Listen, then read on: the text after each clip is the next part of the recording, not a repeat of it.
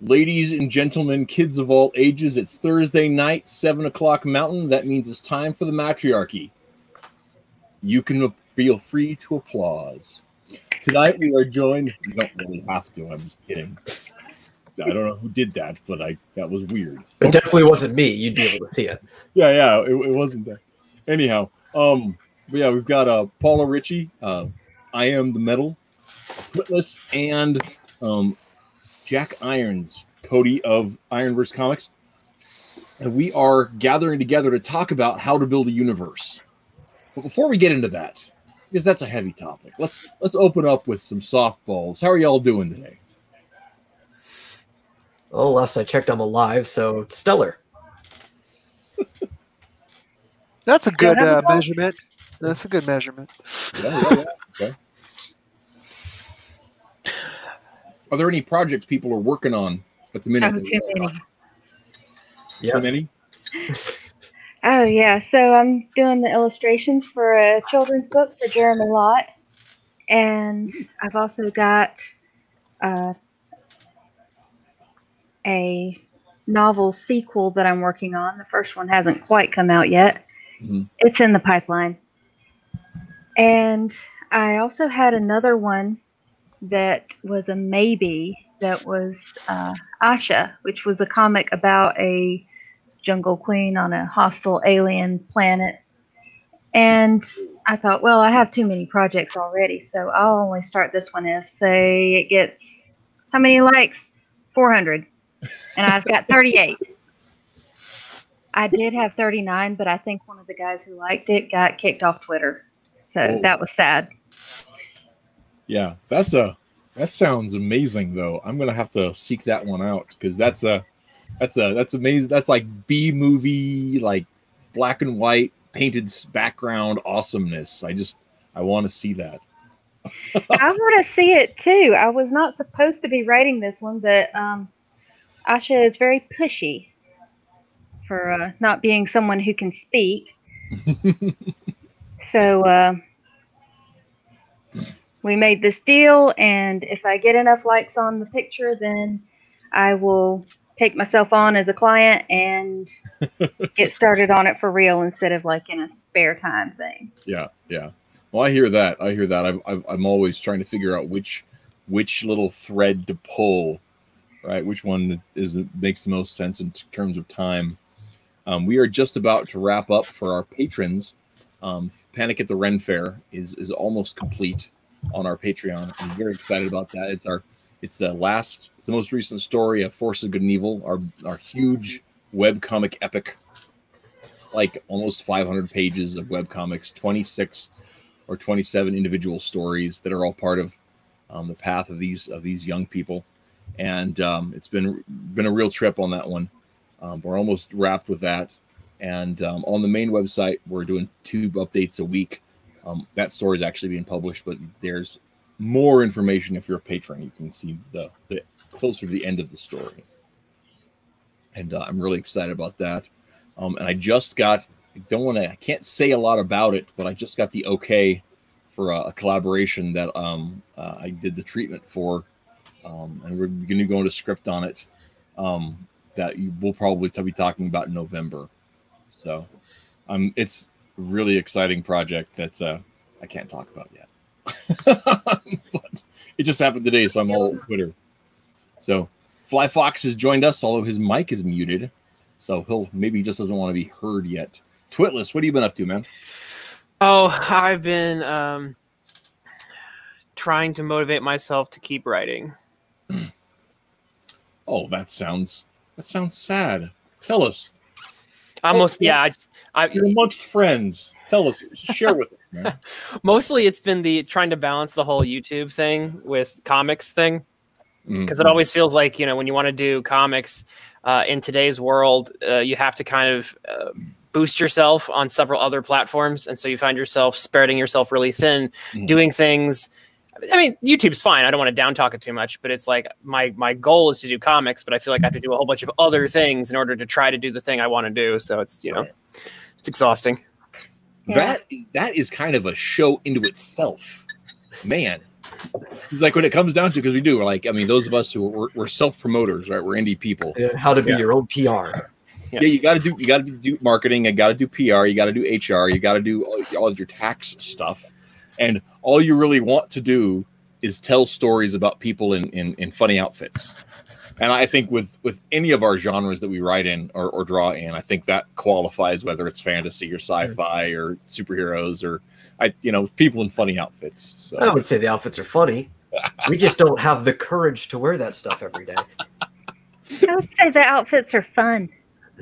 Fun outfits. I like that better. We'll They're drop the fun fun outfits. Fair enough. Fair enough. There there I go being judgy, I guess. Cody, what are you going up to these days? Oh, just got my jobs back this week, so I've been uh, getting back into that groove and finding the, the new groove that, that is working right now. Uh, but uh, other than that, of course, uh, Jack Irons, Steel Cowboy, issues one through three, uh, they're up on uh, Indiegogo. We've been grinding away at that, wonderful art's been coming in. I've been tweaking the script to the art as it comes in, and should be about two thirds done by the end of this week. So, and I guess that's tomorrow, isn't it? So, yeah, that's pretty quick and uh, we're working on it, and I'm really excited. Uh, came out quality. Uh, well, it's coming out quality. Uh, I'm hoping I found the right balance between what I tried in number one and what I tried in number two, and uh, I'm hoping folks will enjoy what we're doing again, so I get to do it one more time afterwards, and so on. But uh, yeah, when- just when you- just grinding at it. When is that supposed to be fulfilled in there? That's uh, uh I set it out for December, which was and still is, hopefully, uh, uh, about two months later than I actually expect to fulfill. But I uh, last time I guessed too early, Mhm. and uh, this time I'd rather be uh, be on the wrong side uh, this way than uh, than the other way. So Oh. hopefully uh, December it's, it's hitting everybody um, at the latest. I, I actually know exactly like that that pain. With uh, we funded a book last summer, and the Yeah, my project we're getting pages. What? So Where's, where's the my book? I'll tell, book? you, I'll, I'll tell you where it is. It's not done. So the, the the the tempo of pages we were getting in when we came up with our projections, like dropped off suddenly. And um, if you've been following our updates, there were some personal problems our pencil artist had. Um, his father passed away. It was a whole thing, and so we're trying to figure out where we go from here on it. And it it it I'm as the writer, I'm in something of a limbo because I can't, you know, Yeah. I don't want to like crack whips on people going through uh, stuff, but I also, uh, uh, it's my name on the front of the page, so I feel extra. Yeah, I've been following the updates, but Uh, I don't know. I'm I've always you. people pester people for where their book is, and it seemed fun, so I finally get to do it. Okay, there you go. Fair enough. At least you do it live. That's the Yeah. important. thing. So that way everyone knows. Um, but uh, I think that uh, I, I, I, I that's I'm never doing it that way again. Um, uh, we're we're gonna make sure that we have you know at least you know pencils and inks done before we even launch campaigns. Um, if not having the whole the whole project wrapped. So I've got a couple of the projects that are in, various stages, and I'm barely even talking about them because I'm like, you know, we're gonna. I've got I've got uh, an ink artist who's also a student, so he, homework has got to come first, and uh, I respect that. so, um, I have another guy who's a professor, and so homework has to come first. And I respect that too. In his case, though, it's other people's homework. It's different, but but anyway. So, um, Fly, thanks for coming. Thanks for Yeah. joining us. Yeah, Uh, how are you? How have you been, man? doing all right. You know, Yeah. just chilling. I'm alive. You're the second person to say that. That's Am I? your running theme. I'm, I'm That's my general response. I. I was I was unaware that like mortality was such a threat with this group of people. I I, just like in existing. this. It's my favorite. You thing. have no idea. I feel like I've been callous or somehow careless with them. Yeah, I live. taking your mortality for granted is what you're doing. That could be. That could be. I'm looking forward to the next world though, so I don't. You know, I'm not too worried about this. Mm. But maybe you're taking your immortality for granted. There you go. There you go. I'm not taking the next six months for granted. y'all. Fair enough. The first six about got me. So um, since we're on here, ta- we, we've kind of done the the thing. Um, let's go ahead. Put on a and cloak, kind of so I go. don't seem like a square. You need Yeah. a fun outfit now. You happen Bring to have. capes back in. I have a sword next to me too, if I need to. Nice. This the- if this stream gets too boring, he's just going to be just like that's it. I'm just I'm going just gonna start adding stuff. I've got plenty. completely in half. I got like tunics around here and stuff too. It's fine. So, um, Paula, since uh, you joined first, I'm going to start with you. Um, tell us a little bit about um, your universe and what the what are the things that you th- were thinking of when you started putting it together. Okay, so for my Soulbound comic, um, that is it's a particular world that goes through several different eras, and it's kind of like the last stop between reality and oblivion. Um, so everything that's about to go extinct, or everything that never quite was, at some point in time passes through this realm. So we've got some medieval, we've got some ancient Roman, we've got some cryptids and uh, megafauna and stuff going through one era altogether, and then other things that don't really match any era um, coming together. So I was trying to, well, I always hate the idea of like something going entirely extinct and, or a civilization going entirely lost, unless you know it like really deserved it. But uh, we're all thinking of the Aztecs, I hope. Oh, I was Um, thinking of the Persian Empire, but Oh well. Um. Yeah, every now and then maybe they do. Um. But yeah, I don't want anything to be entirely lost. I want things to have a second chance to do it right. Um. Or less egregiously wrong. and uh, so the idea of having a second chance on this world is one thing and then um, i wanted to see how if if time was linear for this place but things get dropped from this world from different times onto it how would these various eras interact with each other so that kind of it gives a lot of stuff to play with Yeah. and uh, yeah, I just really want to see how the world grows and changes as it goes on. So we're going to have like a fantasy era and then the genre of the series. Um, after the Soulbound series, there's going to be another one that uh, goes into like a magic steampunk series where you know they achieve yeah, that level of technology along their timeline. And you know, it still has like shared historical elements with yes. the uh, the fantasy stuff. That's fun. I Yeah. like it. So like it's it. like their legends um, actually happened. Nice. That's actually really a fun thing because I know that with uh, with uh, Ex Dynamos Chaos that uh, Metal does, um, it's it's almost got like all of your your your favorite things are real. Yeah, everything, just The- the- everything. The things that you don't believe, they're they're real. Yeah, just most people don't see them, so they just they forget about them. and that uh, and that's like cryptids and demons and cat girls and all kinds of stuff that are Everything. Ooh, cat girls. yeah yeah you should check it out it's a fun it's a fun comic i've not i'm not done reading it because i get Well, it's okay because it's on hiatus at the moment. Because I'm working on a manga in the same world for the Tezuka manga contest. I'm like halfway done, but you're allowed to post it like early as long as you don't do it commercially. So I've been posting them all in the same uh, gallery on the Mm. site. It's like the first post up there. People can read it. It's like 27 pages in right now. cool cool so um and that's in your website which i didn't do anything with anybody's links in the description because i'm really lame actually it's because like i started putting the the thing together last night and i was like Ugh. Dead. Oh, So I, I'll do that later. Well, aren't you grateful you're alive now with Well- the rest of us?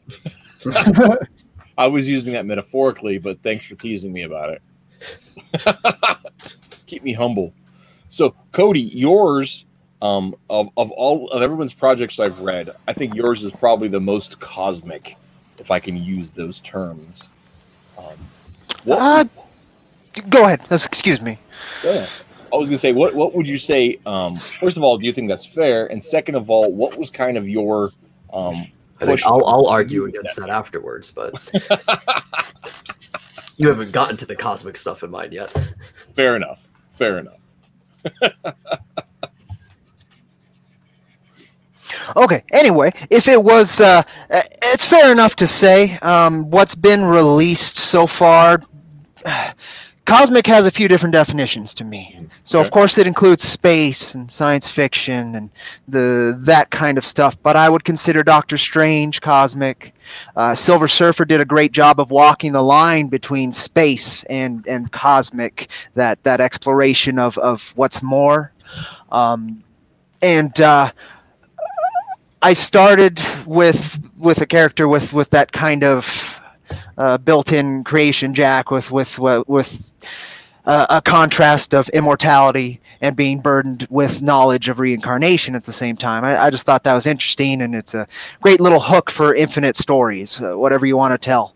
But um, at, at the end of the day, Ironverse Comics is is is there. The universe is built to oppose these four pillars of evil, uh, the things that hold up the entire framework of what we're we're doing, and uh, those are the four horsemen. These these entities of uh, uh, physical manifestations of negative emotions, actions, uh, existences.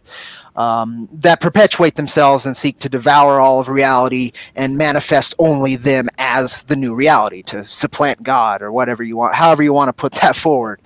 And um, with that, we- it gave us a very strong base on how to, you know, we could build anything we want with the with the kind of the Star Trek vibe. Any planet can have any of these manifestations manifest however you'd want to to tell the story you want to tell.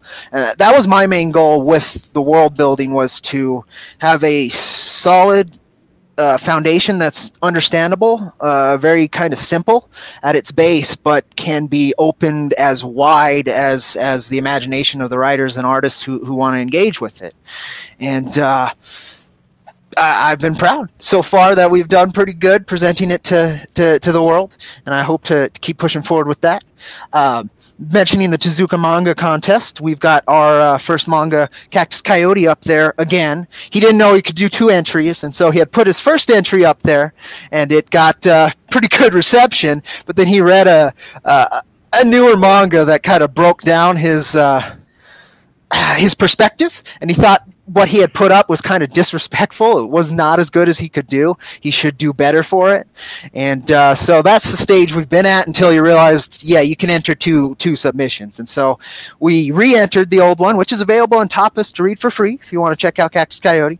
Oh, or it's on the Tezuka mon- manga contest as well. Uh, you can read it there for free. Uh, but we're also going to enter another revised one uh, just under the line he's thinking. He's got just enough time to to redo uh, the the 50 pages uh, but uh, read the script yesterday. It was great. But but the, the the main bit is is for me world building the is supposed to facilitate the ideas you want to be communicating to to your readers uh, and and making it enjoyable flavorful something unique something that that helps them uh, feel like they're they're part of the universe or part, part of the the the the the, uh, the movement of, of the I don't want to use the word product uh, the the the work the uh, the what's trying to be accomplished and, and communicated. And uh, that that's always been my goal and so far it's been working so far but uh, we will see. So, uh, Twitless, you've been doing the, uh, the the superhero webcomic thing for a number of years, um, and I know that you your uh, universe isn't something that is necessarily has terribly consistent rules to it. Um, but you've talked about that you're working on the the Omega Girl uh, thing on the side.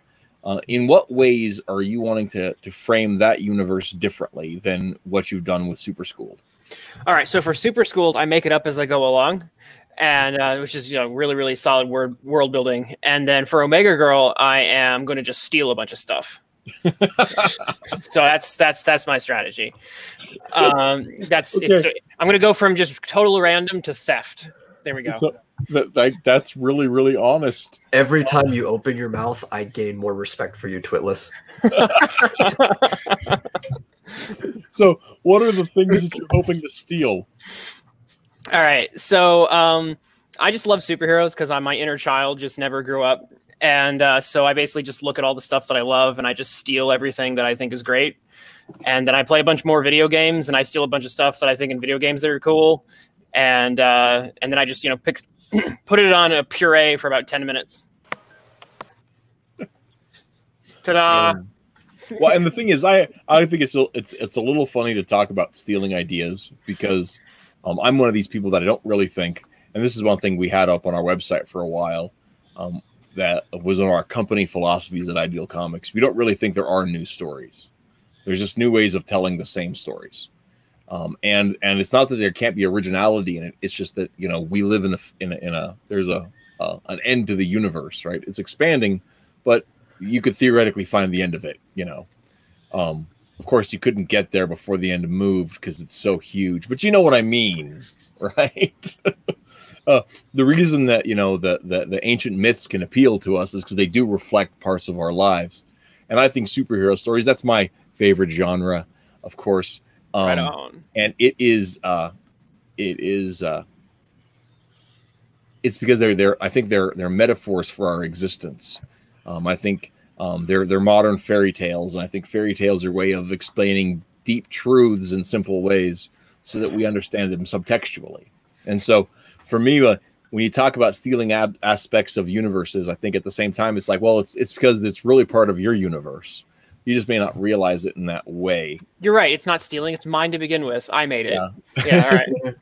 no, it just you're, it comes it comes default with with our existence. It's like one of the things I think is really cool about the the concept of the four horsemen that Cody talks about is that those those um, those are motivations. You know, the the you know war, pestilence, famine um, are are motivations that we have naturally that are good, but when we allow ourselves to be controlled by our our motivations, they become vices.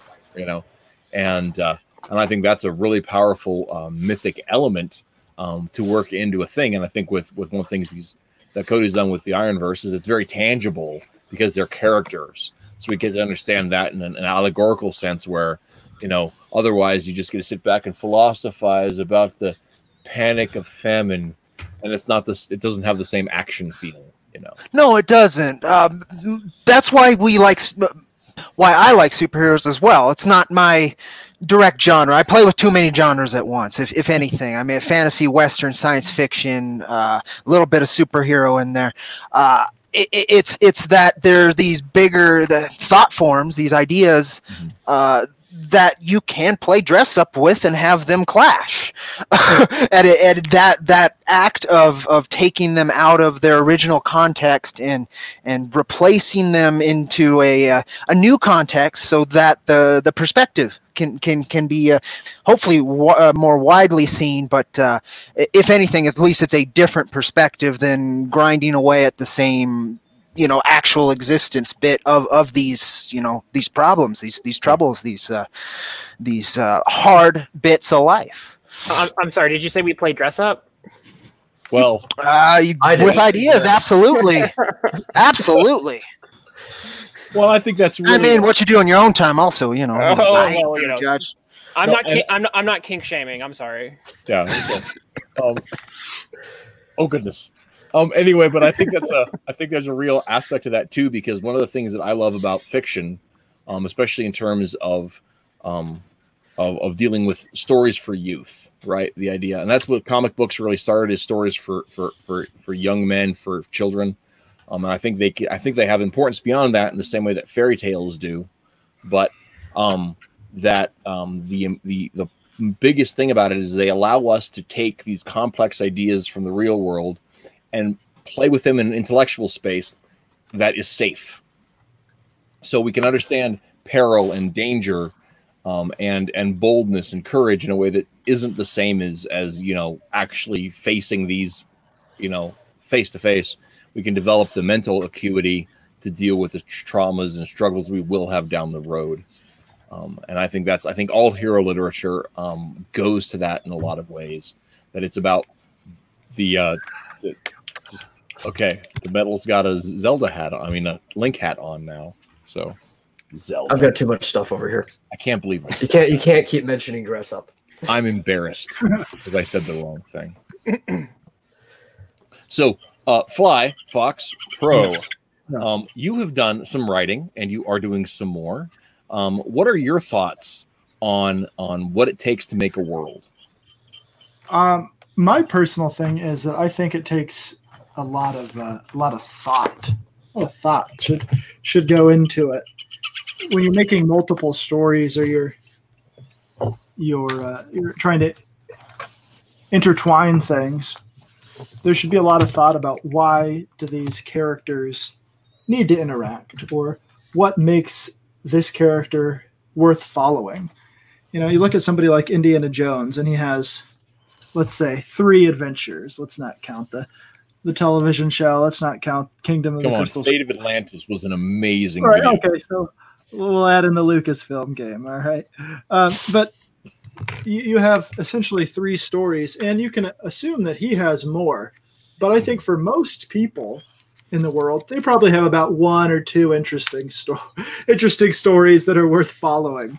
And so you have to really develop those characters, and then you have to give us a reason why they need to interact with other characters. Hmm. There has to be some thought put into like, why do they need to exist in the same world? Why can't I just make it a, a wholly new independent story? And so I spend a, a great deal of, of time thinking about about how they interact. And for example, I have a, a story that's basically a fictional story within one of my uh, within my like sort of main comic book universe. Um, it's a it's a fictional story within it that inspires other characters who then act in certain ways because of this fictional character. And so that exists on like these two levels. You have you have a story that otherwise wouldn't really fit into that fictional world, but it's being added to it by becoming fiction itself in that world, just like it might inspire us outside of it.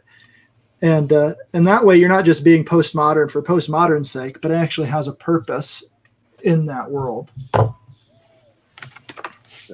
Um, side note, uh, some old metalhead has joined the chat. Thank you for coming. I want to offer congratulations on his just wrapped successful campaign, which I was five minutes late to back. So I, I went to go to the thing and I was like, uh, and by the time I got around to it, it had closed. So curse me for delaying on that. But Yeah.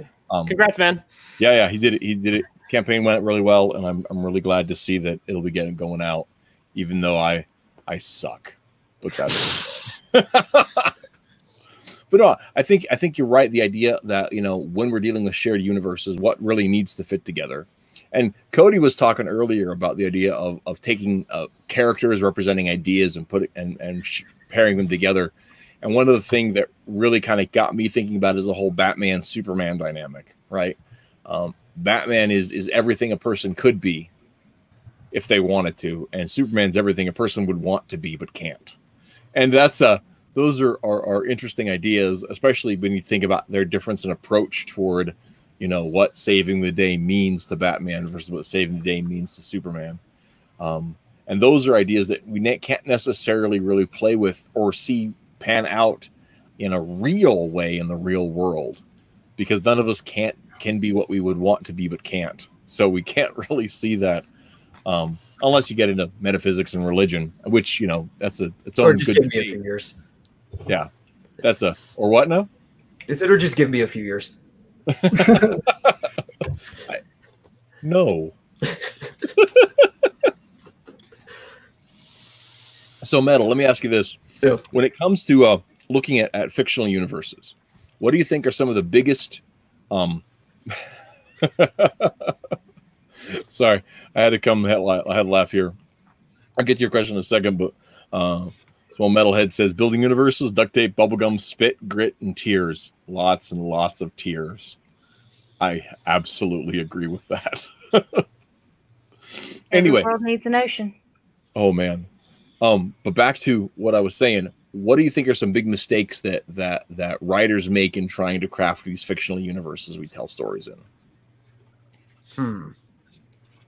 Well, I, I think a lot of it is because they're too character focused when it comes to universe itself, right? And characters are important, but they're important to the story. So overall, you should be story focused.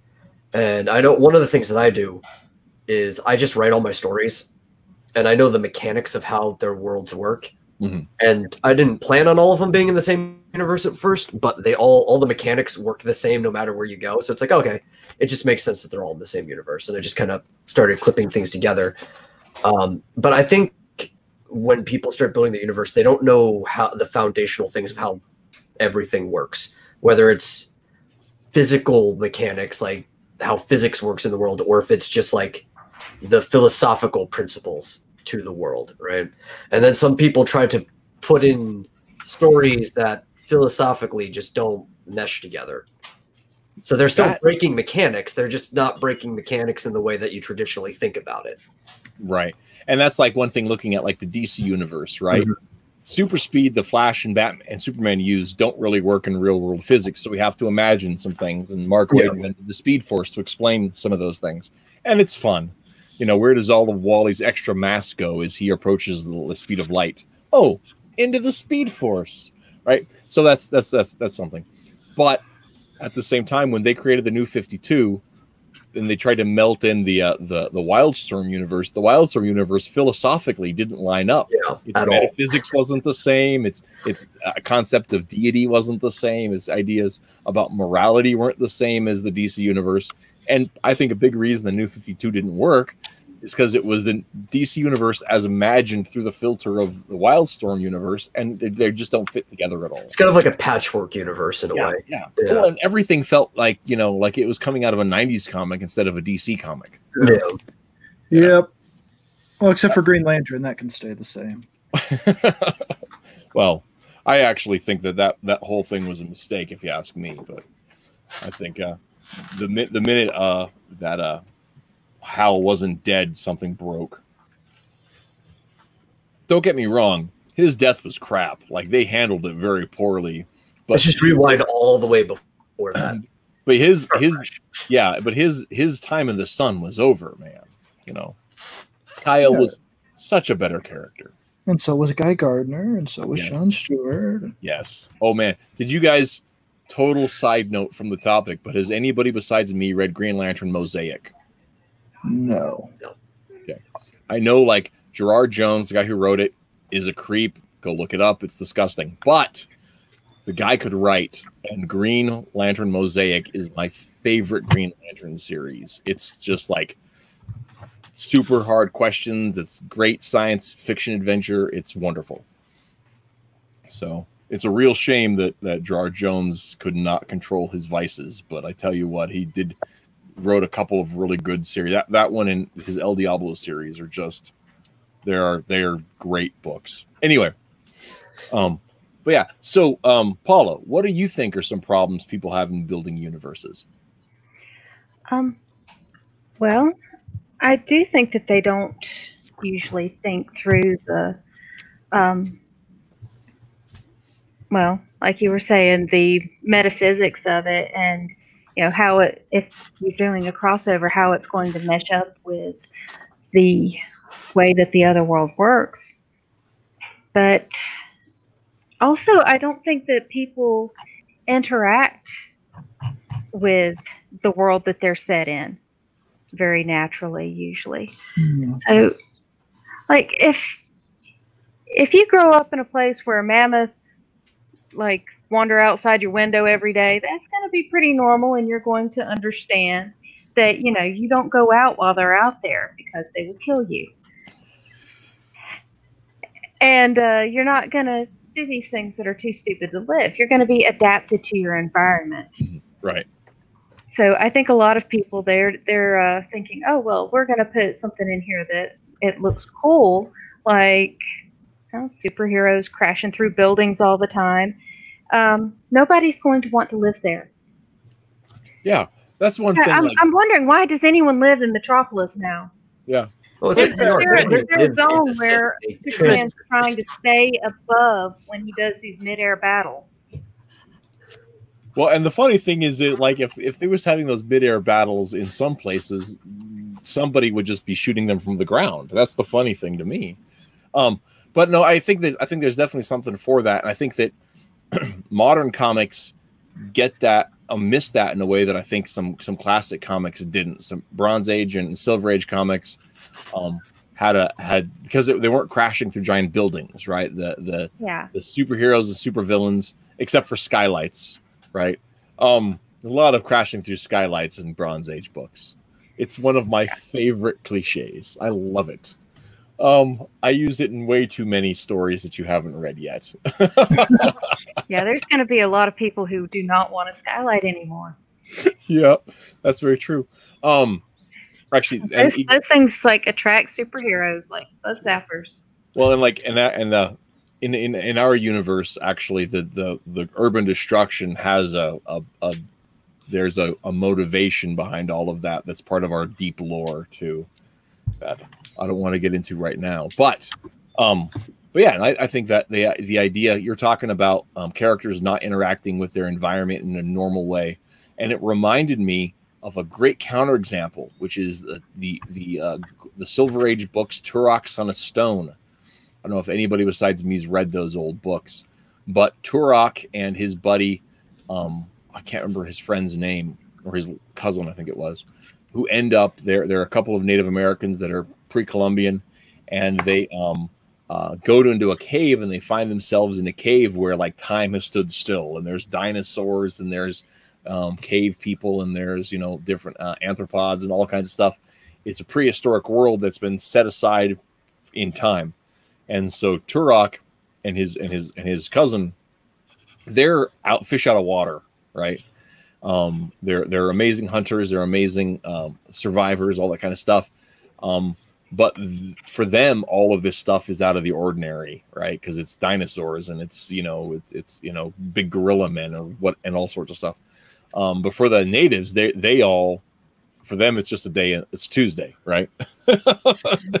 and they do a really good job. I think uh, the the different writers who handled it back in the '60s did a really good job of of playing with that dynamic where um, you know th- the main characters were even though they were pre-Columbian Native Americans, um, and they still were a proxy for the reader who doesn't understand the rules of the world in which they find themselves, um, but are still capable of survival.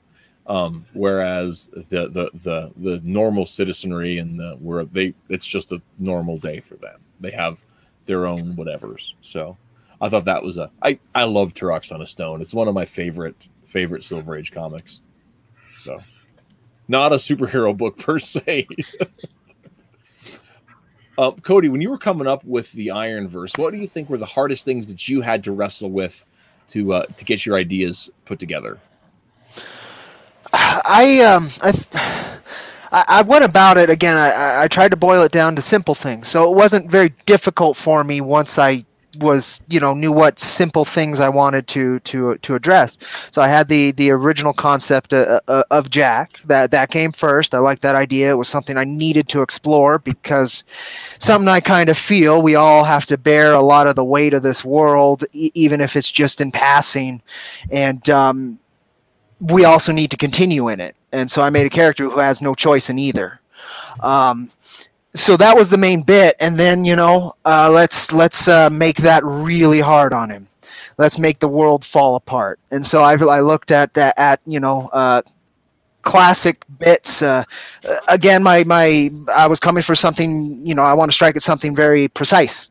Uh, so I, I Four Horsemen are classic archetypes people recognize, and uh, they can be utilized in a very wide manner.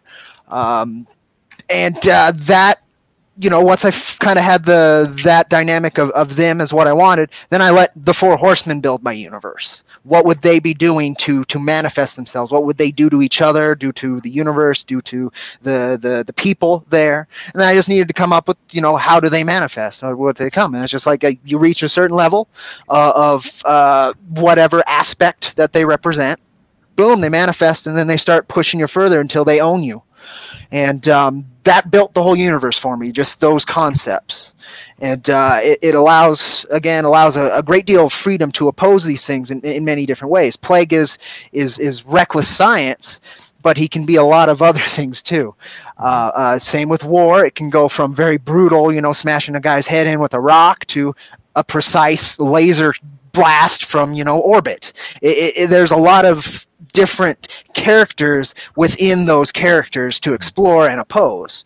Well, I mean, and um, about the, the war thing too is it even gives you the flexibility of playing with uh, like psychological warfare or yes. or like I've been I've been recently uh, re re um, visiting the uh, the destruction or not destruction but the the uh, defeat of Babylon by the Persians you know? And they they snuck in at night and overwhelmed them with sheer numbers and there was no battle you know, the, the the Babylonians were so overwhelmed by the stealth of the Persians, they just were like, "We give up, don't kill us," and then they killed a few of them. Yeah. you know. no, exactly. Or you can explore that Mongol version where they were just a roaming horde who uh, owned all of this big chunk of the world simply through fear, not numbers, not capability, but but the fact that they would run in and annihilate anything that would oppose them to the point of just complete dehumanization, just just yep. guts. You know, uh, it was just such a shocking thing that they were able to hold this power for as long as they did. Th- with as little as they had, just through again psychological warfare, just a less uh, uh, subtle version, but uh, it, it's uh, that that kind of idea. Um, plague can go from the microbial to the kaiju, you know, to massive monsters. He can go from technology to biology. Um, there's all kinds of aspects there. There's a lot of funky stuff that even we as people are messing with on all those spectrums, and um, it gives those opportunities. Uh, famine is reckless consumption, and uh, here we know it a lot as you know the the corporatocracy, but uh, it, it, can be a lot more than that as well, um, because it takes it, there's a certain joy that famine takes in all of this because it makes him stronger mm-hmm. to to make you suffer longer. And so there's that kind of sadism to him as well, and um, that's the hardest one to be fair, and it should be. I'm gonna keep it that way as well. Uh, he's, you know, we don't really know death. Well, our readers aren't really gonna know him until we're gonna drop the hammer. But that's that's a very long time off if we get that far. But but that was, you know, we I tried to build it off of that simplicity where they are building the universe. How would they interact? And I get to. Uh, pick the paths they choose to do that, but they all have to come from a, a logical framework of progression. It has to come from, you know, it's not just all of a sudden something happens like this because it sounds cool. No, it, it there has to be some reason that path was taken, or else we're not going to take that path because you're building a, a a faulty structure for your world if you start taking illogical paths to justify um, cool moments. If I had a cool moment, that would work. And that's actually a good, a, a really good question here. Um, I know because one of the things that I, that I struggle with sometimes with with talking with collaborators about stuff is well, we've spent 15 years working on the rules of our universe, right? We're, we're coming down to the very bottom of it here, and uh, and trying to try to talk about how we, what what things can do, can't do, right? Um, and sometimes somebody will pitch an idea and I'm like, no, that doesn't work because of X, Y, and Z. And then sometimes when of my collabs will get kind of huffy at me, and I'm like, dude, this is the sandbox. somebody has to play continuity editor. Somebody has to play continuity cop, and that's me. Um, I'm the one with the giant documents and the the Bible and all that other kind of stuff that I've been keeping since 2005 don't cross. Yeah, see, that's another thing that's key too. I've found is is uh, particularly with collaborations, you do need that Bible, that document. Uh, we we call it a compendium at Ironverse. We have the Ironverse compendium. So we have our, our histories of our characters. We have their motivations, their their their uh, their goals, and. Um, that that has been extremely essential to keeping the continuity, you know, working. keeping the machine turning instead of grinding against itself till it breaks. For sure. So here's a question for the whole panel. Um, in coming up with ideas that you'd like that you feel are a good fit for you your universe, are there any things you've come up with that don't fit that you have to just chuck because they don't fit as part of the universe? I I had to separate out an entire series that was originally supposed to be in the Soulbound universe Mhm. because it it goes too sci-fi and there's not enough like legend at at the back at the behind of it, you know. So actually it's more based on closer to our world in a superhero universe. So I had to separate out the whole thing. It had to be its own series. It couldn't go in the club with the other stories. And it was very sad because I was going to have like this 10 story overarching, uh, well, arc over the, this overarching arc over the whole realm that, uh, there would be 10 stories and inside each of the stories there would be 10 stories set in that era and there would be a total of 10 eras and oh it was it was beautiful and then it didn't work Metal, how about you, man? Actually, so far, no. Yeah. Everything just kind of works. It's probably just the way my brain goes about thinking about things that all the stuff just kind of naturally lines up with each other anyway. But I think it's also because so far I'm only working by myself, so I haven't had to have that problem either. That makes sense. Put other people into the mix, then we'll see what happens. Cody, what about you, man? Um, y- nothing I can remember specifically. So my my original drafts uh, uh, of the Jack Iron scripts were very derivative. So I'm, glad I chucked all of those. I guess that could count. But the the rules of the universe and the world didn't change too much. It's just more the character traits and, and abilities and such that just didn't fit the the personality or, or or allow the personality to be communicated how I wanted. And so that got refined um, alongside working with with my artists. Uh, it, it's been um, I- I'm I, I always err on collaboration. If it's a good idea, it's a good idea, and as long as it'll work, then I'm fine. I can usually dance around that stuff. And what it has happened with that kind of uh, interaction is everything's gotten refined, gotten more defined, and allowed me to. Uh, understand the personality of what this universe needs to be because it's not just me making it so it, it's kind of uh, given it a, a, a wider breadth uh, than than I could have, and um, really, there's been uh, working with with with Dollar Coins, the the creator Cactus Coyote, for instance. He's chucked out. Oh God, like five scripts for that, and he's written over like 50 issues. but uh, it, it's it's it's a weird weird thing to, to to refine like that. But again, I tried to give us as many as wide of a base as solid of a foundation as possible to do any kind of crazy thing so it's been very hard for me to find anything that we couldn't justify some way uh, but nobody's really tried to uh, that i've worked with tried to inject anything that wasn't already kind of communicated in there you know the vibe nobody's trying to do an erotica in our universe, for instance. Uh, there is some sexy stuff that Dollar Coins puts into his manga because that's kind of how it goes, but it's not. Um, it's not a main focus.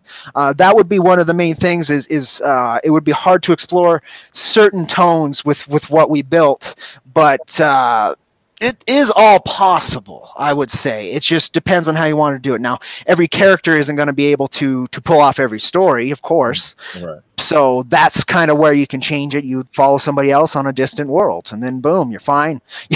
but uh, uh, yeah, I, uh, I I found it. Um, not so likely to have to chuck out stuff as long as you're real communicative and, and willing to be a you know a, a solid collaborator and um, you don't mind a, a, a little new blood injected into what you were thinking Right. I found that constantly with my artist. Uh, completely different pages than what I wrote and had in mind, but they're the same page. It's just better. so it's it's uh, it, it's it, it's a wonderful journey, and I'm proud to take you know be in comics. It's freaking enjoyable. Oh yeah. Twitless. Are there any things I know that I know you've already talked about this for Super School. There's really nothing off the table because it's just a lark. Well, okay, in a way there is because like it's uh, the continuity cop is Taylor Mm-hmm. because I'm the one who will who I'll sacrifice anything for a funny joke. Um, but uh, Taylor will be the one who says no. that's not what Brad would say. That's not what Frankie would say. And I'm like, but it'd be funny if we had him say something completely out of character here. So he's the one who kind of like holds me in line uh, for the comedy strip. Um, when it comes to the more serious uh, superhero uh, work that I'm working on right now, um, my, my approach is kind of uh, different because um, uh, I've, I've certainly chucked a lot of stuff. But to me, um, I feel like uh, there's like two aspects to world building there's uh, character and setting. Um, yes.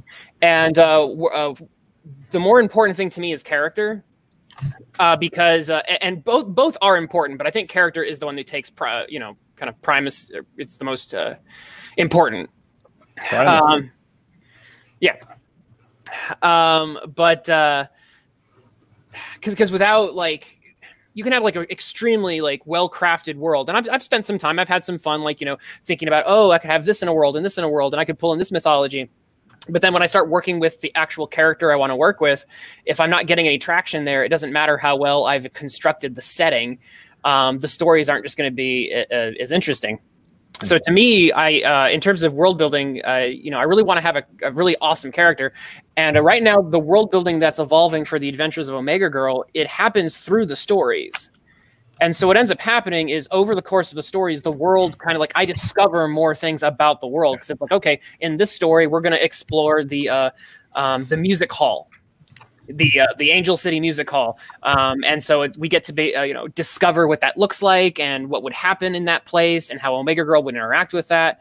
Um, a story we're working on right now. Um, she's fighting an electricity based villain who's uh, hijacking into a whole bunch of uh, technology firms. So we get to see how she interacts with that and we also get to explore how uh, the world interacts with you know an electricity based supervillain.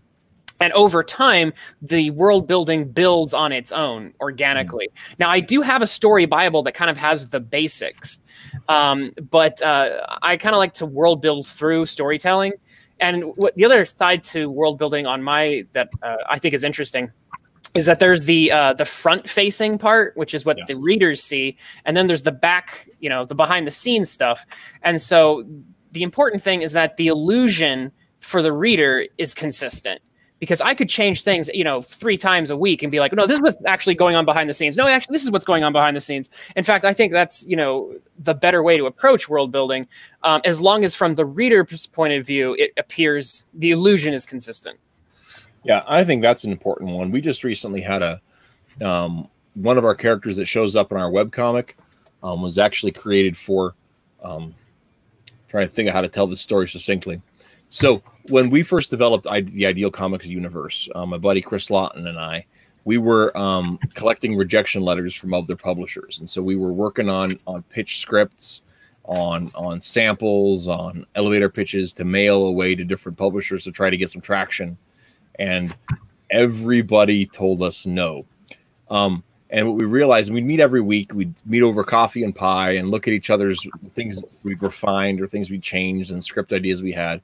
And we realized that it was all kind of fit together, that we had the same kind of underlying rules for all of our pitches, whether they were, uh, you know, um, adventure stories with archaeologists, whether they were science fiction stories, whether they were, you know, uh, superhero stuff it all kind of had the same underlying tones to it. So we decided to make a universe, right? Um, and um, with that, um, goodness sakes, I forgot where I was talking about. Oh, um, the illusion so, of movement, the illusion of change. Um, but yeah, one of the things about it is, is one of the stories Chris came up with. He had a, a character um, called Shock, who is uh, a paranormal agent for a, a superhero um, contract security agency. Um, and uh, he had a particular origin set out for him. And uh, about a year ago, it had never been talked about. Um, and he he just he'd shown up in one story as as a character, and we know his who his character is and what his personality is. Um, and I I said I'd like to readdress his origin story that we've never told. Um, I think this fits better and I gave my reasons, and Chris says yes. so there's, I definitely see that there's, there's um um uh, uh, some room for like you know making sure that the the back end um has, but it actually it ends up having the same themes that Chris told, just with a slightly different flair to it. Um, we took a um, a man who was a disgraced cop and turned him into a disgraced fire uh, inspector. Um, and uh, so we've got a whole different level of of, uh, of past to him, but it's the whole, but it's an interesting um, aspect to all of that. So, um, but yeah, I think that that's um, uh, the idea on this. Actually, I'm going to change topics a little bit. Um, well, actually, I don't want to do that yet. Um, uh, Fly Fox, are there any times you've had to um, cut out stories, cut out ideas because they didn't fit with the subtextual rules of your universe? Uh, usually, I just blend them. Like if I come up with an idea I really like and it's just not working right or it's going to cause conflict, what I'll do is I'll I'll take the elements I like from that, either the characters or the storyline or some sort of powers, and I'll, I'll meld that with something else that's already in the world. That way, all the good stuff that I liked is still there, but I don't have to try to to uh, you know to force it in or and I don't have to just forget about it. You know, I can I can take those good elements. So a lot of my stuff is stuff that I've thought about over a long time, and then I I sort of combine the elements and realize, oh, that fits well together. So I'm going to um, I'm going to make that character just a single character, and he's going to have both of those powers, or he's going to be able to have both those abilities because they really work well together. And that's something I sort of took from fantasy writers like Brandon Sanderson does that a lot. I don't know if you guys are familiar with him. He has like a five million dollar Kickstarter right now. He actually has Uh, a really good lecture series that teaches uh, sci-fi and fantasy writing free on YouTube. That Yeah, I really watch. Definitely worth watching. A lot of good information there. Um, but one of the things he does is he'll, he makes these amazing magic systems, and he'll he'll he does it all the time. He'll make a new magic system, and then he writes it down. And sometimes later he realizes, oh, those really work well together.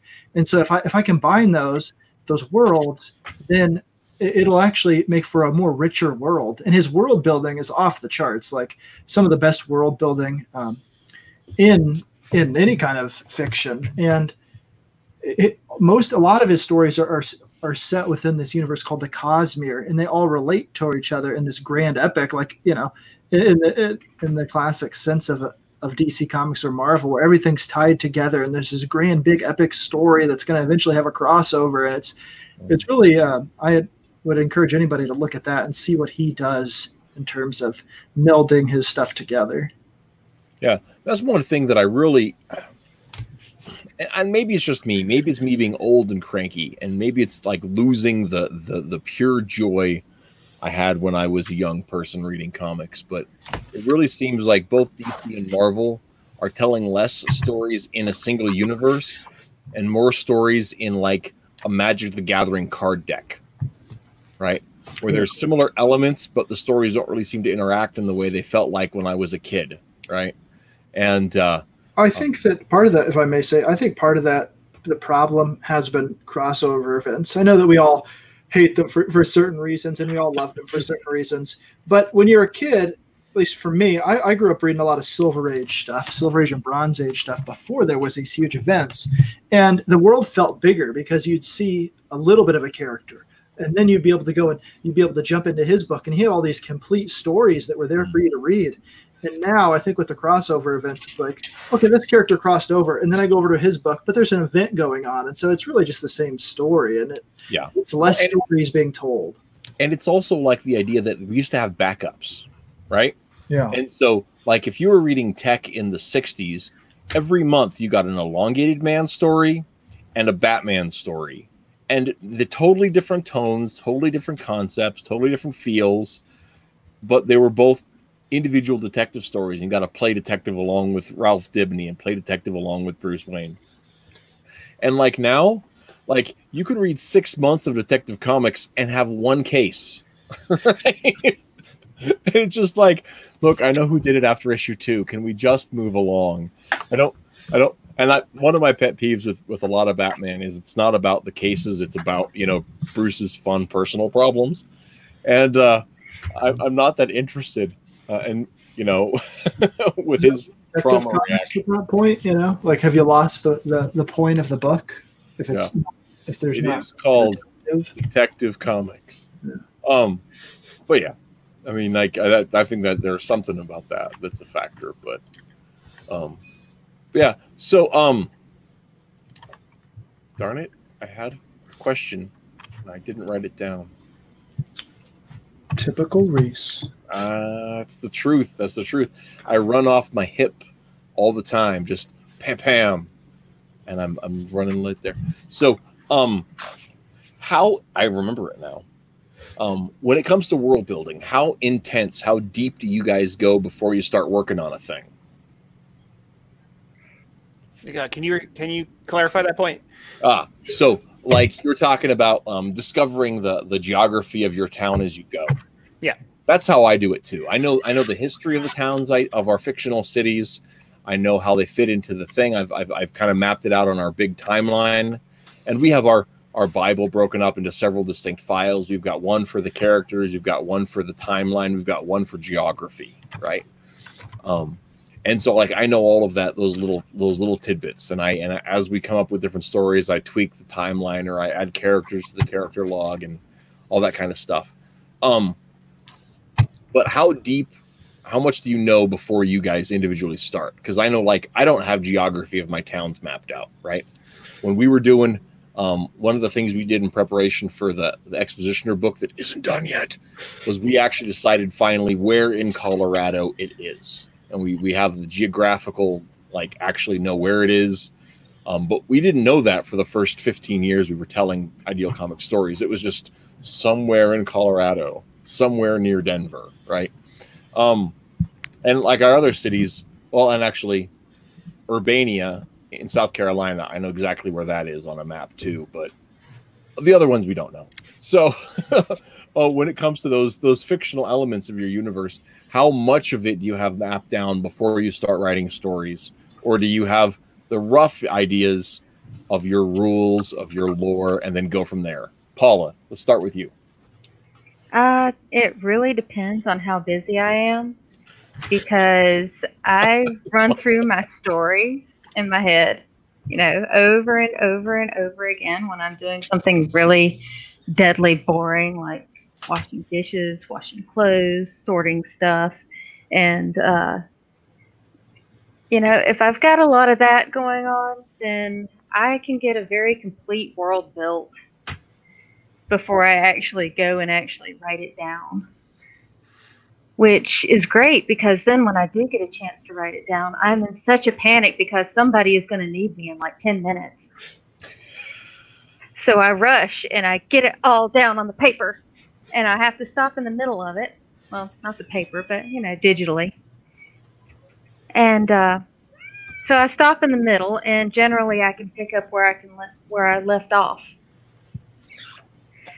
So yeah, boredom, boredom, boredom, boredom, panic, and that's how I build things. Fly Fox Pro, um, what's your take on that, man? I, I'm pretty similar. I, I think about this stuff a lot before I um, I really get down to it, and then sometimes I just go off the cuff. You know, like I'll, I'll start writing something down. I realize, oh man, this is pretty good stuff. I need to make sure that this fits, and then I have to go back and and sort of retroactively figure out if it exactly works. And that's when I get stuff like where I um, I make it a fictional property within that world, so that I can still have it in my world in a sense as a, as a feature, but not as so that it's not breaking the world. So I do think about it quite a bit beforehand. Um, Cody, what about you, man? Um, a- again, you know, we kind of spoke earlier that you know uh, a character kind of takes takes precedence over those uh, the the the well. It takes precedence in world building a little bit for me as well. It started with the characters as the icons and then how they would affect their world. Um, all I needed was that base, and then I could explore what I wanted. So that's what I started as. Uh, eventually, I wanted something a little bit more solid, a little bit more mechanically sound, and that's when we've been kind of been working it out. Um, of course, I run it in the back of my head, like all you guys do too, all the time. But the uh, when I first started, that wasn't wasn't the goal, um, and uh, since it's become a little bit more of the goal. Uh, most everything I, I've uh, written uh, short stories and a few other things take place in in the Ironverse, and so it helps me flesh out the rules and get an actual tale told that that expresses those rules and and uh, allows me to stretch him a little bit too, which is which is good. So uh, honestly, I, I, don't need too much, but I uh, I need that foundation uh, for sure. And if if I have some form of uh, of the foundation, then I then I can usually go at it if uh, if I've got that inspiration going. That that's the main thing. I need that almost more than a, the foundation. yeah. For for me, when it comes to our, our big world stuff, we started with three stories that we had we had written that really fit these particular rules we had. One was Forces of Good and Evil, our superhero comedy, and then um, Chris did a, had a had a mystery that he he had uh, pitched called October Leaves, uh, and then I had um, which we've not finished, and then I had a tragedy that I call Whom the Gods Destroy, um, and um, and it's a political tragedy that I also haven't finished, but I had like the the bones of all of this. Um, and those formed our, our subtext. And on that, um, what we really attached it to was um, we set up our, our timeline of the 20th century roughly to match the progression of comics. So um, the golden age that we have, because we have a golden age, we have a, an initial hero that kicks it off, who's the first hero that inspires all the other heroes. Um, he's not the first super being those are go all the way back to myth to the foundations of the earth but um, the first hero inspires all the others and take and he we have him appear in 1938 um, and and starts the, the the the realm of heroes. And he the second hero is a is an urban avenger um, and so we have a have a, have a of a magical superman and we have an urban avenger and we have a have a golden age archer that forms our, our original triumvirate of heroes. Uh, and then we have a, a, silver age where where where things a, a, a, resurgence of superheroes that come on the scene when the time is right and and we have a, a bronze age where they where things become more serious and we have an age of pockets where um, all of our heroes are edgy and and and and over serious and, and all that kind of stuff and that led into our, our modern era where we started with force of good and evil um, where things are, are are somewhat serious in some ways and somewhat dire in others. And so, um, and uh, and all of that came from that same kind of thing. They started with what were the core things that connected our original three pitches, um, and that kind of spun out from there. And all of our alternate history and and then a lot of our history because we actually ended up having an alternate history that goes back to the very beginnings of the earth the very creation of the world is a little bit different than it is in our world and those were just logical extrapolations of the world that we built going backwards.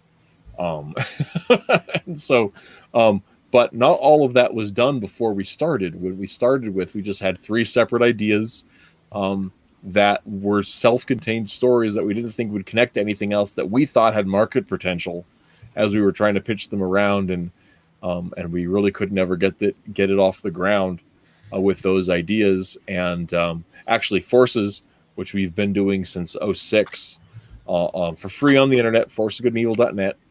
Check it out. It's hilarious. You'll love it.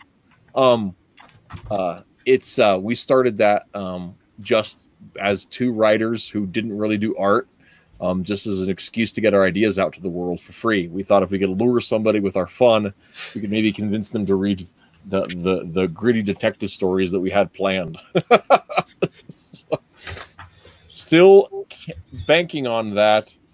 Um, but yeah, Twitless for you. What what what uh with um how much research or, or background I should say did you have when putting together um, Omega Girl? All right, so um, I'm actually working with Omega Girl with another uh, person, so kind of another collaborative effort. Um, so what's interesting is a chunk of that comes from uh, gaming, actually. Um, and uh, one thing I have learned in terms of storytelling and world building is um, not to over not to overdo it, mm-hmm. um, because uh, I sometimes have ideas that I think are good, and then um, you know, in a practical, uh, once I start applying them, they just all fall apart. Uh, so, um, okay, so so for example, um, I had uh, I was playing this role playing. I do a lot of role playing games, or I did.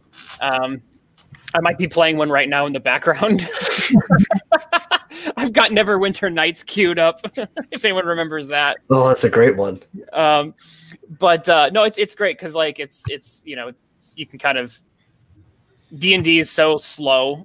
You don't have to really pay attention to what you're doing. You don't really have to pay attention to what you're doing, especially the way I play. I play Necromancer, so I just have my uh, my minions just kill everything. Um, no, sorry, bringing it back to the actual storytelling. So um, uh, I do a lot of role playing and stuff, and uh, I had a whole bunch of ideas that I thought would work. And then, um, you know, I had this whole like mystery plot that the players were going to like uncover. And then what I started noticing was that the um, the players uh, would would kind of chat uh, and talk about what they thought was coming up next, and their ideas were like ten times better than what I had planned. so what I would do is I would just eavesdrop on what they were doing, and then I would pretend that again I would just steal their ideas, and I would go, "Oh no, that those awesome ideas you've been you've been theorizing and story crafting because you know." Six minds are better than one, and I'd be like, "No, no, that's totally uh, that was my plan all along." Isn't it brilliant? And they're like, "Oh, this is story is so great," and I'm like, "Yeah, this is how how to do it." Um, no, great is your idea. yeah, it's totally my idea that I could. Hey, you always meet their expectation. I did.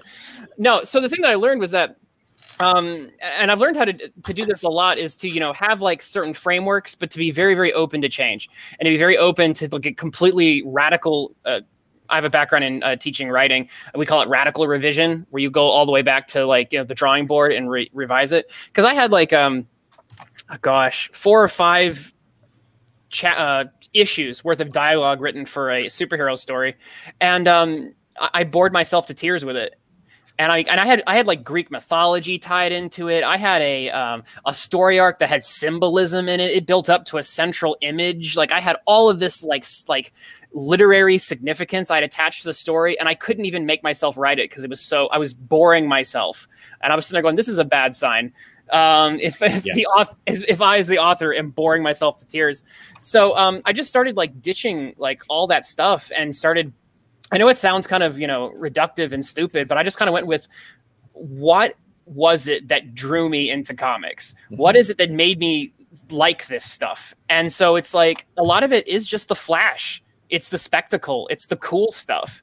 And obviously you, you have to have like stuff that makes sense, but you can't lose sight of like the fun that draws us in to begin with and so it's just interesting how like I I started off being like you know super serial and building things, and then like I said, I I, I bored myself, so I was like, and that's actually exactly the opposite of my experience. Like what got me into comics was the was the the complexity and the depth. Right. Sure. Um, I mean, what I said, what, what what really got me into comics. I mean, I was reading. Um, what first got me to the comic shelf was Ducktales, right, and and the Great Adventure stories and um, the reprints of the Carl Barks books that Gladstone was doing doing in the early '90s. Um, that's what actually got me to the rack. But what hooked me into superhero comics was the the depth of the world, the idea that you know Gotham City and a Metropolis with their own separate histories and their own separate flares and their own separate architects, architects right, right, right. But if up I the road from each other, and sure. the idea that you know the the post crisis DC universe goes back to the golden age and all of the stuff in that. And the idea that they live in a world where central city was or, or where, where keystone city was stolen from time for 40 years. And how does that affect people that came back and all of the the human drama related to this? So like those long stories those big epics were things that that's what got me into comics was all of that complexity. So of course when we came up with the ideal comics universe that's all in there Right. So, even though I don't know if anybody who has read Forces understands how the things that happened in the 50s are affecting these kids that are going to high school in 2004, but it's all part of that to me. so the, the only thing I would add to that is like you're, you're totally right, and and I I'm, I'm I don't want to undersell the fact I do enjoy the depth too. Like I'm, one of my favorite writers is Chris Claremont, and he puts a mm-hmm. lot of depth into his stories. The thing that I think is interesting again is to point out that what brings you into the story a lot of times initially is kind of some of the flash and mm. you stay for some of the depth yes. but that that the depth comes like it didn't i don't think if we go back to like you know um and i was look i was reading some like just first issues spider-man iron man you know superman batman and it was literally just here's a really cool looking character. He's got some cool powers. One two three go. And like the depth evolves over time. Like again they explore that world. They add new characters every issue. It's a new thing. And over time it builds. Yep. you know um so for me i i, I was learning to like to let it build over time to like like do the snowball effect Mhm. because I feel because what kept on happening is if I tried to build too much and get too in depth before I told the stories, then what would happen is, is I would just end up retelling and revising and chucking stuff anyway. You know, so like it was more efficient to have like, okay, here's the loose framework. Here's like some backstories that I'm totally probably going to rewrite three times, um, and uh, like let's let's build as we go, um, as opposed to having everything set in stone and then tell the stories and then realize that like oh man that thing i built is is really boring and uh, i don't like that or I, I i hate half of this and this person's character is stupid and i should revise it anyway Yeah, I think that's actually a, I think that's that that's the way to tell a story is actually to like breadcrumb it, right? When Yeah. you're talking about the deep lore, uh, and that way the people that are into the deep lore can seek it out, and the people that are just like, I just want to watch you punch Nazis. That's all I showed up for. Okay, Right. that's fine. That's fine. Conveniently, we have Nazis in the next issue. Um, uh, Nazis aren't that big a part of our universe. We beat them in World War II with superheroes. Um, so, um, but yeah, and I think that's one of the things I had a, a lot of fun with in in Forces is we have a story, um, where uh, the uh, uh, it starts in class, and of course it takes place in a school, right? These kids are high school students, so it starts with a lecture where they're they're learning the history of the of the disco riots, and in the uh, in our universe in the 1970s, there was a cult um, that used disco music to mind wash people uh, uh, into joining this cult and, and to trying to take over America with disco music. And they were taken out by a a, con, uh, a, a, con- a joint effort of the funk rockers and the punk rockers, and uh, and they wiped out the disco cult uh, in the 70s. And that's a whole thing in there. So That sounds like Um, justice to me. but what do you what do you have against hippies yeah, it's it's it's not, not hippies. It's not hippies. It's disco people. It's not the same. So it's more like hipsters. Yeah. There's way more cocaine. Well, maybe not more. anyway, but it's a it's a it's it's called uh the the story. If you want to check it out, go to Force of Good and Evil. You can go down to pick a story, and you can select the one that says Disco Fever, and check it out. It's absolutely hilarious, and I don't just say that because I wrote half of it. what did the bee gees do to you that would make you hate them so much Falsetto. It was Sergeant Pepper's Lonely Hearts Club Band, the movie.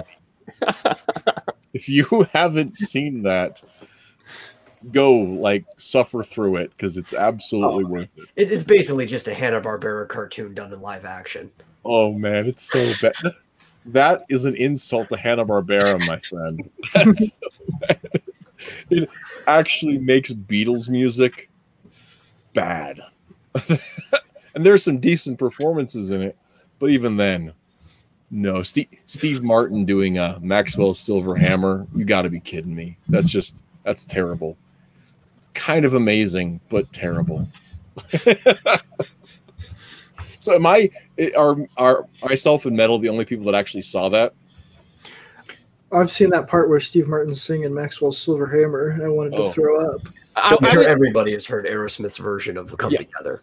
Yeah, and that's like the like you know that's it, theirs wasn't terrible, but you know what the funny thing about that is, is Aerosmith was interviewed about it several times, and they were all so drugged up, none of them remember being on set.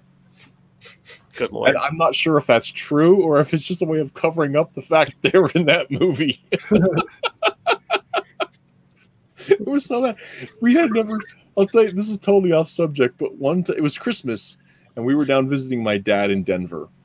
Um, and my wife and I are were just getting ready to go to bed, and this came on, and I was like, I have to watch this because it was on the on the big screen. And so we sat there and watched it, and then afterwards we looked at each other and like, what are we doing with our lives? Just it was so bad.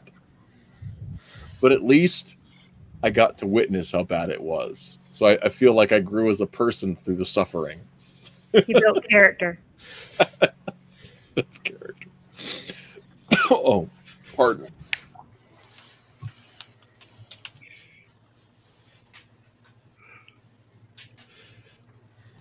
Choking on my own juices. Yeah, was that, that, that's a quote. That's good radio right there, man. I tell you what, that's quality stuff. Goodness sakes. I lost my train of thought coughing. So, but yeah. Don't mention trains. I have I have bad memories of trains. Choo choo. What kind of bad memories of trains? I'm just making I'm just just joshing you.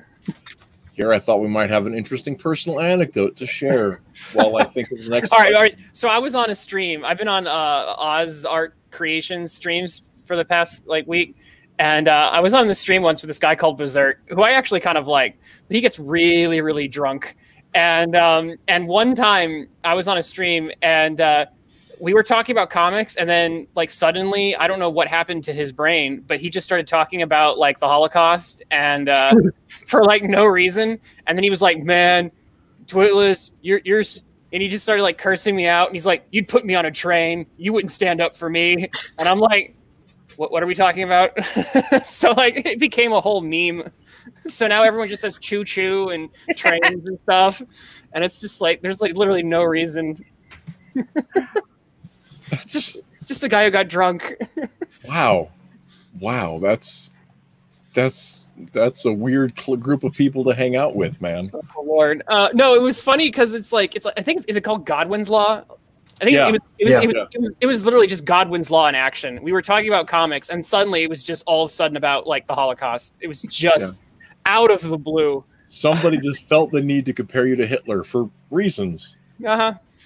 Uh, It's was- because you went too long, so the uh, the dev team had to come in and manually force it. Yeah.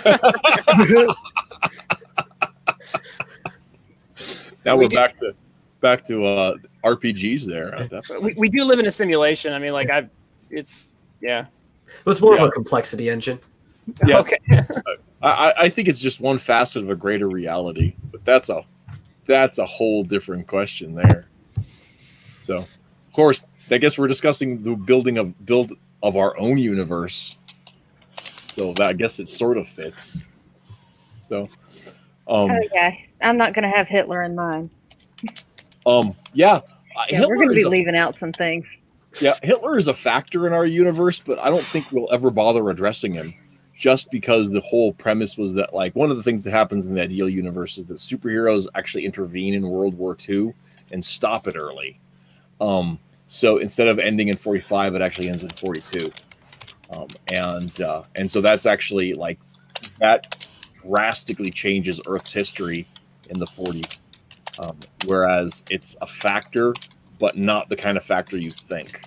So, um, we don't we have a Cold War, but it's not the same Cold War, and it's a whole thing. But we haven't gotten to a lot of those stories um, in our in our materials, whether they were print or the stuff we used to have online. I still need to rebuild our website. Well, not rebuild. It's got a good build. It's just not all the content back on it like I want. I don't have enough time. That's the truth. So that's a good question. If I'm asked a question, how do people prioritize their stories they want, especially if they've got a, a big universe they're trying to do? What do you? How do you guys choose what stories you're going to focus on? That is a really good question. I'm going to point that to Cody to start with, though. All right. Um, honestly, I, I started with the story first. Um, basically, the the idea. Uh, um, again, it's kind of a. I tried to build everything organically, and so that comes with the stories too. So I, I haven't uh, mapped out so far, so I can let it kind of grow and be timely if I can help it. Um, not like pin, pigeonholed in the timing, but. uh, in the timing being emotionally resonant with me i'm going to put out a better pro, you know a better story uh, than just forcing a good idea to exist and so um, the first jack iron story it's a lot of uh, teenage angst and disappointment with what humanity is, and it's a a little bit of fun at the end just to make it easier. Uh, issue two is you know uh, what that led to. You know all that darkness just brought everything down. And issue three, we get on the the, the call to action for the hero's journey, um, and then we actually start from there. But I had originally written like six or seven issues, and I just was putting out cool ideas and structuring uh, a concept. It was very derivative, a lot of uh, taking and borrowing more than I even do now, and I do a lot. Uh, but uh, so I, I I don't do so much um, forethought on that. I try and let let let it come to me, and I I'm you know I don't have deadlines. I don't have to force that. So that that's a big one. If I had deadlines, then yeah, uh, there's been a few things. Uh, the short stories I've had deadlines on. They come out good. They could have been better, uh, but uh, honestly, uh, if if there's room and inspiration, that that that's where where I pick that story, and I try to leave space for that story to happen instead of getting five, six, seven steps ahead of myself, and then I have something I want to do that doesn't fit within those steps that I've already set in motion. I, I try to avoid that. Uh, again, it's all about uh, the the the depth and the, and the width we have to work with and, and, picking and choosing how to move that forward and what aspect of that for that story or, or what aspect of that we want to communicate in a story and, and put put forward uh, at that time or or uh, you know, just overall, because there is an overall kind of uh, message what we're trying to do too. That's going to ring throughout all the books, because uh, it's the same. It's a bunch of different beings in the same world opposing the same things, and so they all will fit together naturally uh, because of that and um, it just allows us to, to play. I, I, I, try not to get too far ahead of myself. Like uh, I, am way more into uh, the the planning of what, what led up to things in the background, so that I can kind of get the setting right. That I might overthink a little much before diving into a story, but not really. I I, I try to uh, leave the space. Uh, try try and uh, leave me room to uh, color outside the lines when uh I'm learning. so, um, metal, how do you prioritize? Because you've got what three, four narratives that are part of your universe that are going on right now that I know about. Let's see that are going on right now. Well, if you count the manga that I just started putting up, right there, there's the main web comic for Ex Dynamos Chaos of the same name. Uh, there's the Pop Rocks featuring Mitch and Sandy. I started the prose um, for the Chronicling of a Planet called Mira. I started prose for a horror story called Beyond the Terror Threshold. And oh, I have a, another one sitting in the background too. So I've got I've got several, but those are just the ones that I've started things on. I I probably have upwards of 50 stories planned and ready to go. I just haven't I don't have the time to start all this stuff. Right. Uh, so prioritizing because you don't have the time to start all this stuff. Uh, one of the reasons I picked the story that is the webcomic and is the the titular story of the whole universe is because it's the one that kind of lays the backbone of everything. It is the one that kind of through it teaches you the mechanics of the universe, both the uh, the physics, the philosophy, everything about it, and that's also why it's the one that kind of has like the um, the insert characters because I'm like I need to focus on telling fun and interesting stories, and I need to focus on telling stories that also kind of like lead people into the rest of the universe. So I need to not be focusing on developing characters, and I'm just going to be cheap and use people I already know.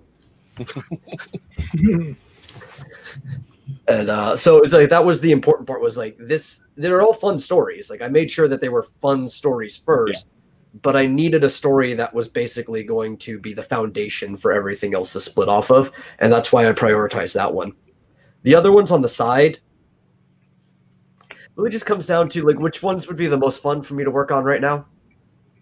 Like the Pop Rocks one, it's like I could do that in a simple cartoony style. I could do them pretty fast uh, when I do get around to them.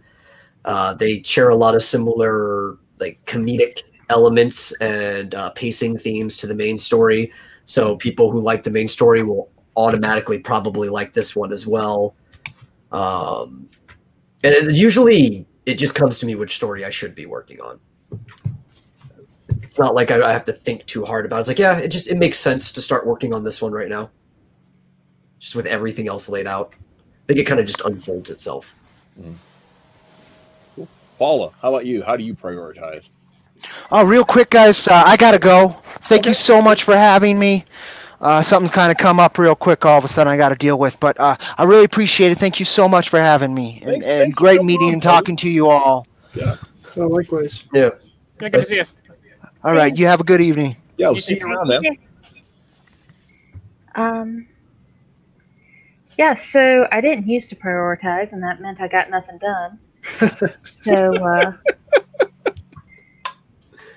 now uh, I've I've got this thing going on with Asha, where I'm telling her to hold off and leave me alone until I get my novel written, unless she can like justify her existence. I will keep her in the back of my mind. Like right now, I'm uh, working on some inking for hers. Um, but uh, yeah, I'm. If I have somebody like waiting on it, then I'm going to be working on that first. And if it's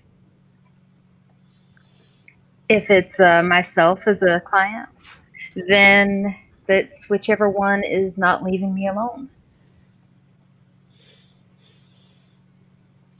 So usually that's not more than one, but sometimes it is. uh, yeah, you want to see my inks? Sure. Do a screen share. Yeah, that'd be awesome. Let's Uh.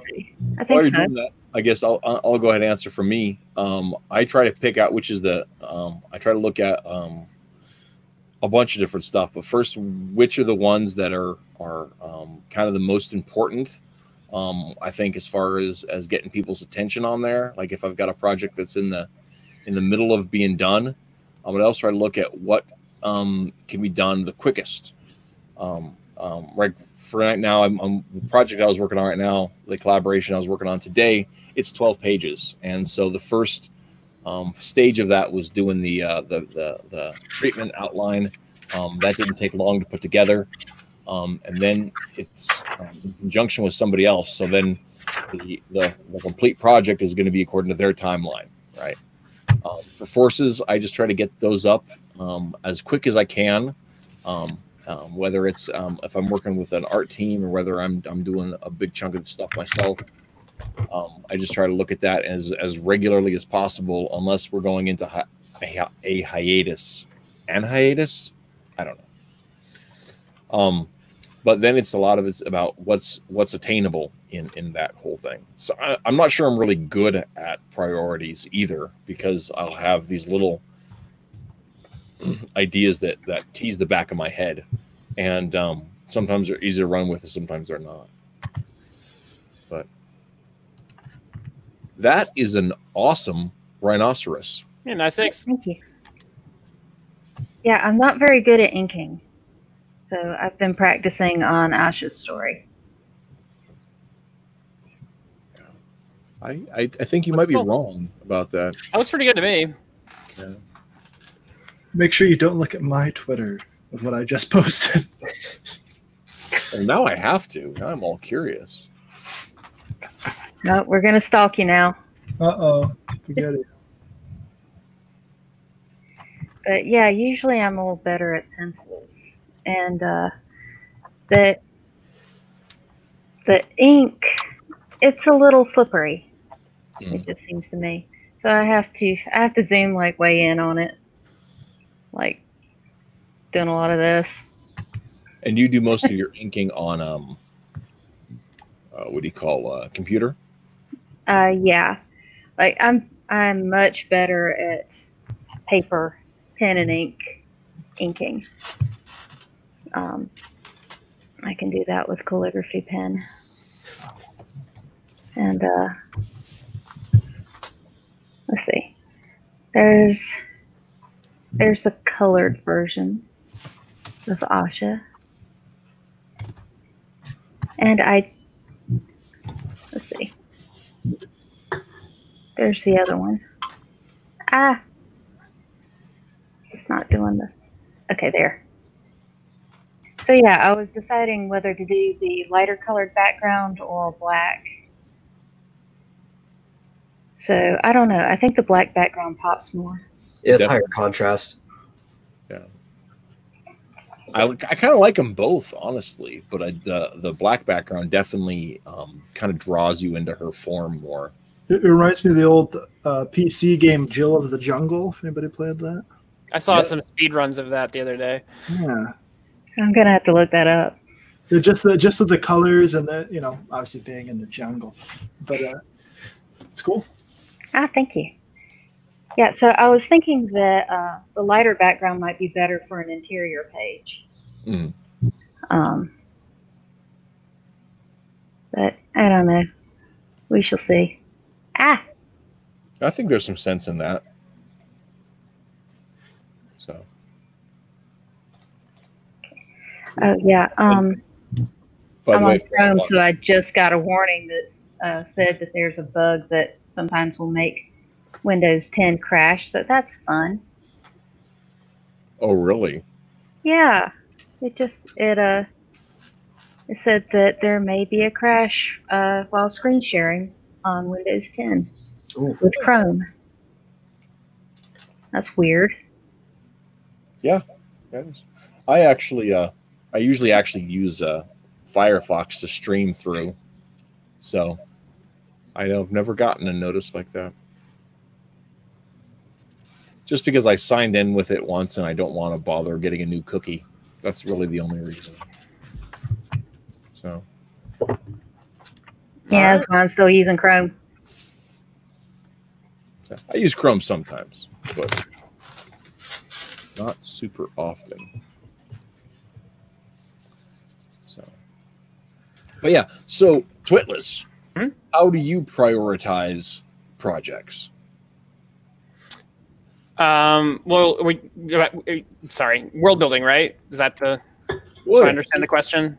um, in world building, in terms of, of, of work that you're putting out, however, man. Right. Well, yeah, I think I um, I'm going to repeat myself. It's uh, it's character. I think. Um, I really like to uh, to think about. Um, I guess it's two sides to for me. Um, I love to think about really cool characters, and I like to think about really cool situations for those characters, and then I kind of grow it from there. So I'll get like a really powerful image in my head. Uh, so there was a superhero story I wanted to tell where um, I uh, the image I had in my head was a uh, a Superman kind of paragon character, and uh, he's uh, he's holding up like a falling skyscraper, kind of like Atlas holds up the world, Right. you know. And I just I loved that central image, and I, I built a lot of things around that. Um, and I still like that story. I'm gonna get to it someday, but I just like that powerful image for me, and I just started kind of building around that whole like idea in my head.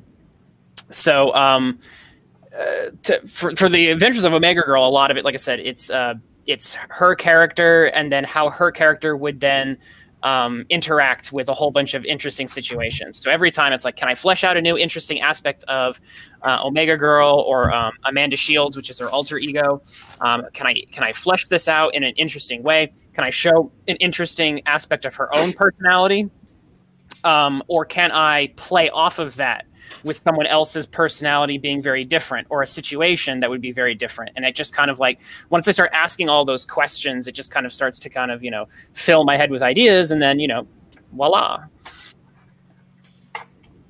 Another thing that I forgot to mention, um, as far as priorities with working on stuff, um, is because I don't really draw very well. Most of, I mean, I'll do inks and I'll do colors, but most of the stuff that, um, and I I do inks the old school way with a pen and a piece of paper. Same. Yeah. Um, but uh, but because of that, I I uh, a lot of what I work on next is dependent upon you know what my artists are doing, right? Um, and uh, you know what what when I'm who how quick somebody is and what I can expect on, right? So, um, right now the our artists that are that are helping me with forces, um, that story is already written. Um, it's not all dialogue, but it's already written out. All the pencil art is done for it. So um, when I go to work the dialogue and, and letter the page is when I get one, right? So um, then I have something in front of me, and uh, um, while I'm when I'm working on, um, I'm working on a, a uh, an expositioner uh, story, um, like a little a short one. I've got an, a different artist that really wanted to work on a like a short story, um, and I've got that one plotted, but it's not written yet because that artist is wrapped up with a different project. So he's not going to be ready for several months. So I'll do the the the plot outline on that sometime later. Um, I've got uh, uh, a story that's in the works called uh, "The Strange Wanderings of Gilboy Henderson." It's an, a, a multi-issue series that I'm working on. Um, the first issue is completely scripted, and the pencil art is done, and it's at the inkers right now. Um, but I don't know when, how long it's going to take him to work on it because he has other stuff going on, and so uh, I'm not going to sweat getting the second issue out um, written yet, uh, even though it's plotted, because I don't want to worry. I mean, that's that's down the list because we've got to get the first issue inked, colored, lettered, and see if anyone even wants to buy it before I'm going to start writing the second one. You know, um, so so that's a that's a big factor for me is you know what do we have for demand um, on all that kind of stuff. So and what needs done to keep people that really are that are because I've got some artists that I work with that are um, working on on a, a, profit sharing model. So it's like, well, once we sell it, then we can go ahead and get everybody money, but I can't sell it until you have it done because I'm not repeating the uh, mistakes I made from last summer. It's not happening again. Oh, oh, that sounds like an interesting story. Oh, we just crowdfunded a, a, a comic, and the art team is not finished, and we were supposed to ship in December. So, oh, that. Yeah, it's the thing we were getting out at the beginning of the uh, the show. I was like, "Where's my comic?" Yeah, I'm not happy about that. that, but, that that's the story of like comics, like forever. You know. Where's dude? Where's my comic? Yeah, and that's yeah. that's mainstream industry too. Yeah, like, well, I mean, and part of part of that is like it's like I was I was, um, you guys all know um, Denny O'Neil, right? Yeah. The group editor of DC of Batman. He was a, a mover and shaker in the '70s and '80s, and he passed away a few weeks ago. Um, and uh, Denny meant a lot to me uh, as a fan. Um, he was um, a, a, good writer and a phenomenal editor, and he hired the best people, right?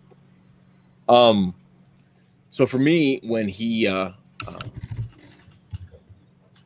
and it's taken me a while, I, I haven't put a lot um, out about it just because it's, it's it's it's weird having an emotional reaction to somebody who you've never met, right? I think that's and a lot of people every time a celebrity dies or some rock musician dies, they get really moony about it, and I'm just like, man, you didn't really know him, and I didn't really know Denny, um, but uh, you know, uh, he is directly and indirectly responsible for uh, a lot of the things that have, of the choices I made in my life um, um, because of the comics that he that he uh, worked on. Mm-hmm. Um, and uh, anyway, this week I, uh, I I ran across the posting Kelley Jones, who was a, a Batman art a, a artist in the '90s, um, and uh, he talked about his experience working for Denny O'Neil mm-hmm. and how Denny just believed in um, the people he worked with, right?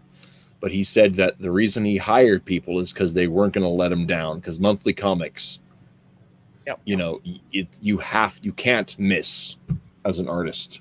You can't miss your deadlines because you you hang everybody out to dry if you miss your deadlines. And uh, when you're working in a collaboration, it's not your name on the line. It's it's you know it's it, it's Everyone. it's everyone's name on the line, and you can't you can't flake out on on the people you work with. It's not cool. And that got me thinking about this whole thing, and and I think that some of us in the amateur uh, field, um, I don't want to say got into comics because we were annoyed with the sort of laxness that goes on. Um because um, I mean, I was I was making comics, you know, we're doing stuff on the web way back in the day. It wasn't because I was annoyed at at at Marvel. I wanted to make comics, and I, you know, it wasn't because I was annoyed because I wasn't getting I was getting treated X and Y by current writers. But I think there are some people that got into it just because, um, you know, you think you can do better. Well, yeah, I think I can do better. Watch me. Um, uh, and uh, uh, but I think we also like I think a lot of indie creators undersell the importance of you know that customer service means going the extra mile, and um, because our lives are complex, but it's uh, it's a service industry clean way around is what I'm saying, right? Um, we, we serve, I think we serve customers by pre- presenting products. Um, we uh, we uh, serve um, the the stories by being honest with them and, and working hard at them. We serve, uh, you know, truth by being honest with our stories. You know, and uh, I think it's a service industry clean way around that. And a critical blast, I know, man. Yeah, I believe he's said. Uh, I was almost over that about Denny. I just, um, yeah, that's it's a it's a heavy thing. I just can't.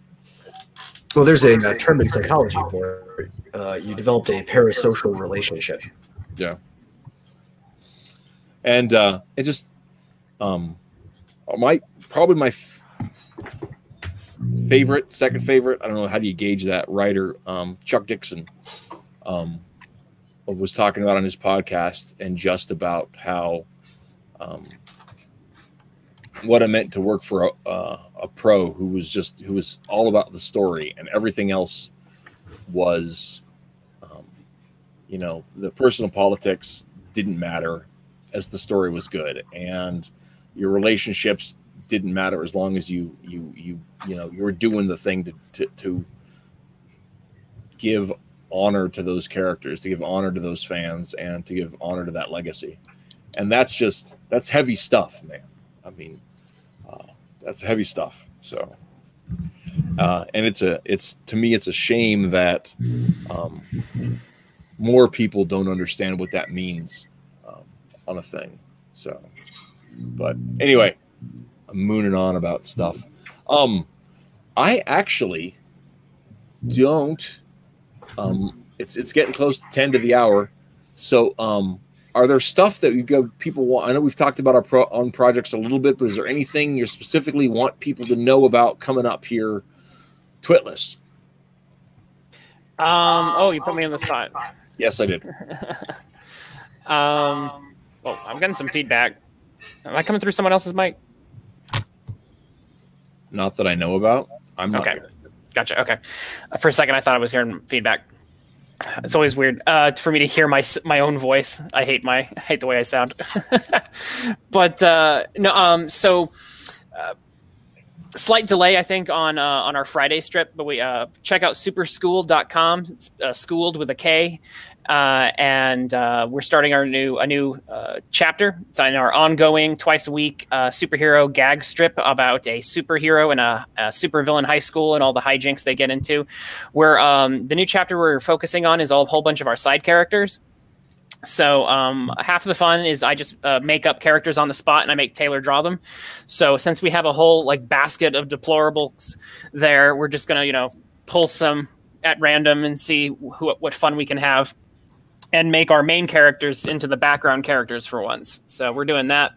Um, I am currently in the process of self-funding The Adventures of Omega Girl, which is a classic throwback to uh, kind of a the fun that uh, we've all had in superhero comics. Um, personally, stuff like a, a Justice Society (JSA) by Geoff Johns, big influence, I think, for me. Um, so um, I've just I've just got some new art uh, even today. Um, going over some of that. So um, I'd like to say that uh, this summer I should have a full issue um, delivered, uh, but uh, we'll you know I'm not making any promises until I can you know be more certain of when I can meet those deadlines. So it's work in progress.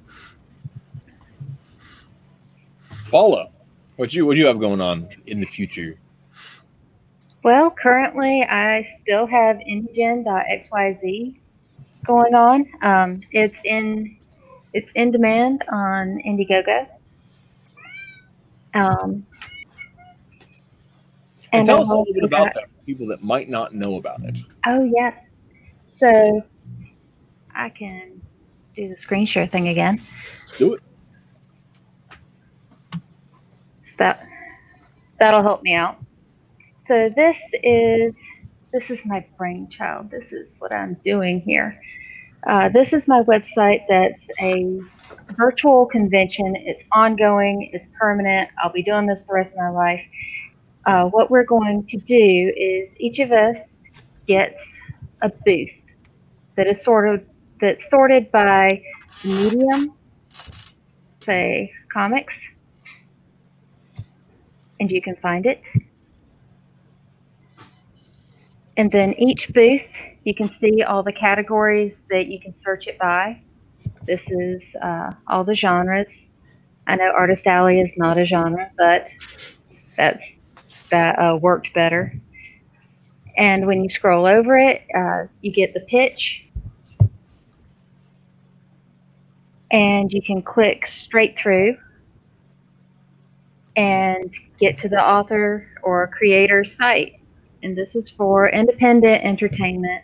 Um, it's like the Amazon search engine if it, if they weren't so intent on breaking it all the time.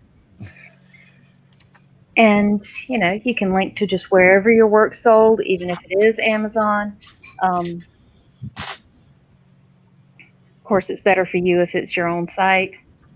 Um, so I want to uh, I want to get everybody in here. Oh, Yeah, I, I would love to get all sorts all sorts of comic creators, uh, YouTube channels, yeah, I'd seen uh, that. Whatever's entertainment. Whatever's entertainment. Yeah, I'd seen that Wicked had a booth last time I was checking it out, but I'm really glad to see that that that the Rags team is up there, Sporkman's up there. Those guys. Yeah, and I, I need more. I need more comics. yes. A place I'm not already at. You're tempting me. Yeah, yeah, yeah. yeah. Uh, and I, I, I- I told, I told uh, Paul, I really want on, but our website isn't ready for people to like. I don't want to point people to it because it's just it's ugly right now. So it's got a You're a good book. perfectionist, but man. Not anything on them. I'll let people come in and see my ugliness. I have no shame. So yeah. So look, I have one tabletop gaming company.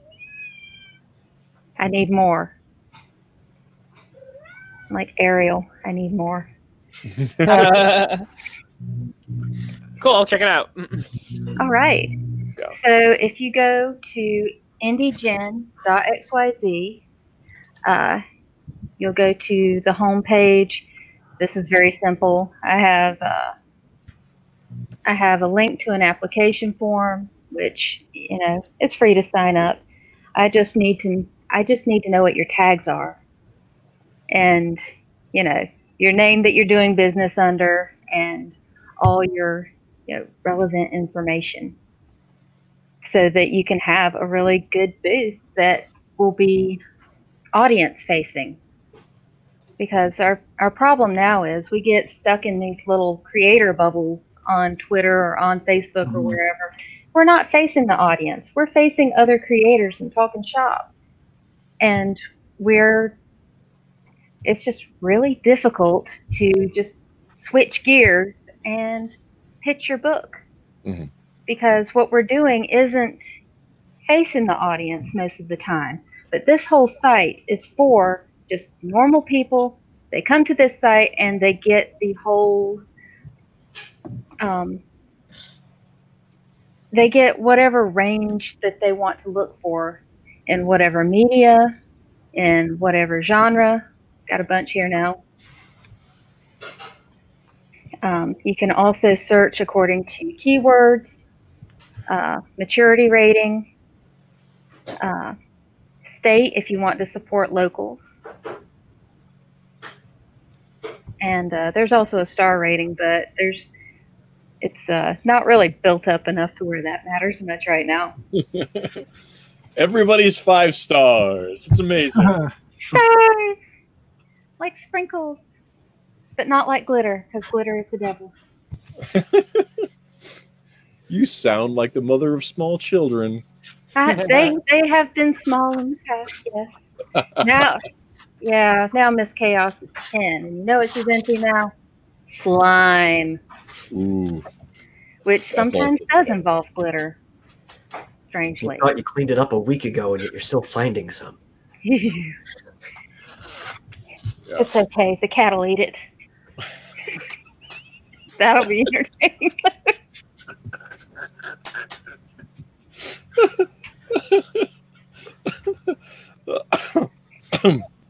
Sorry. Sorry, I'm trying not to kill you, man.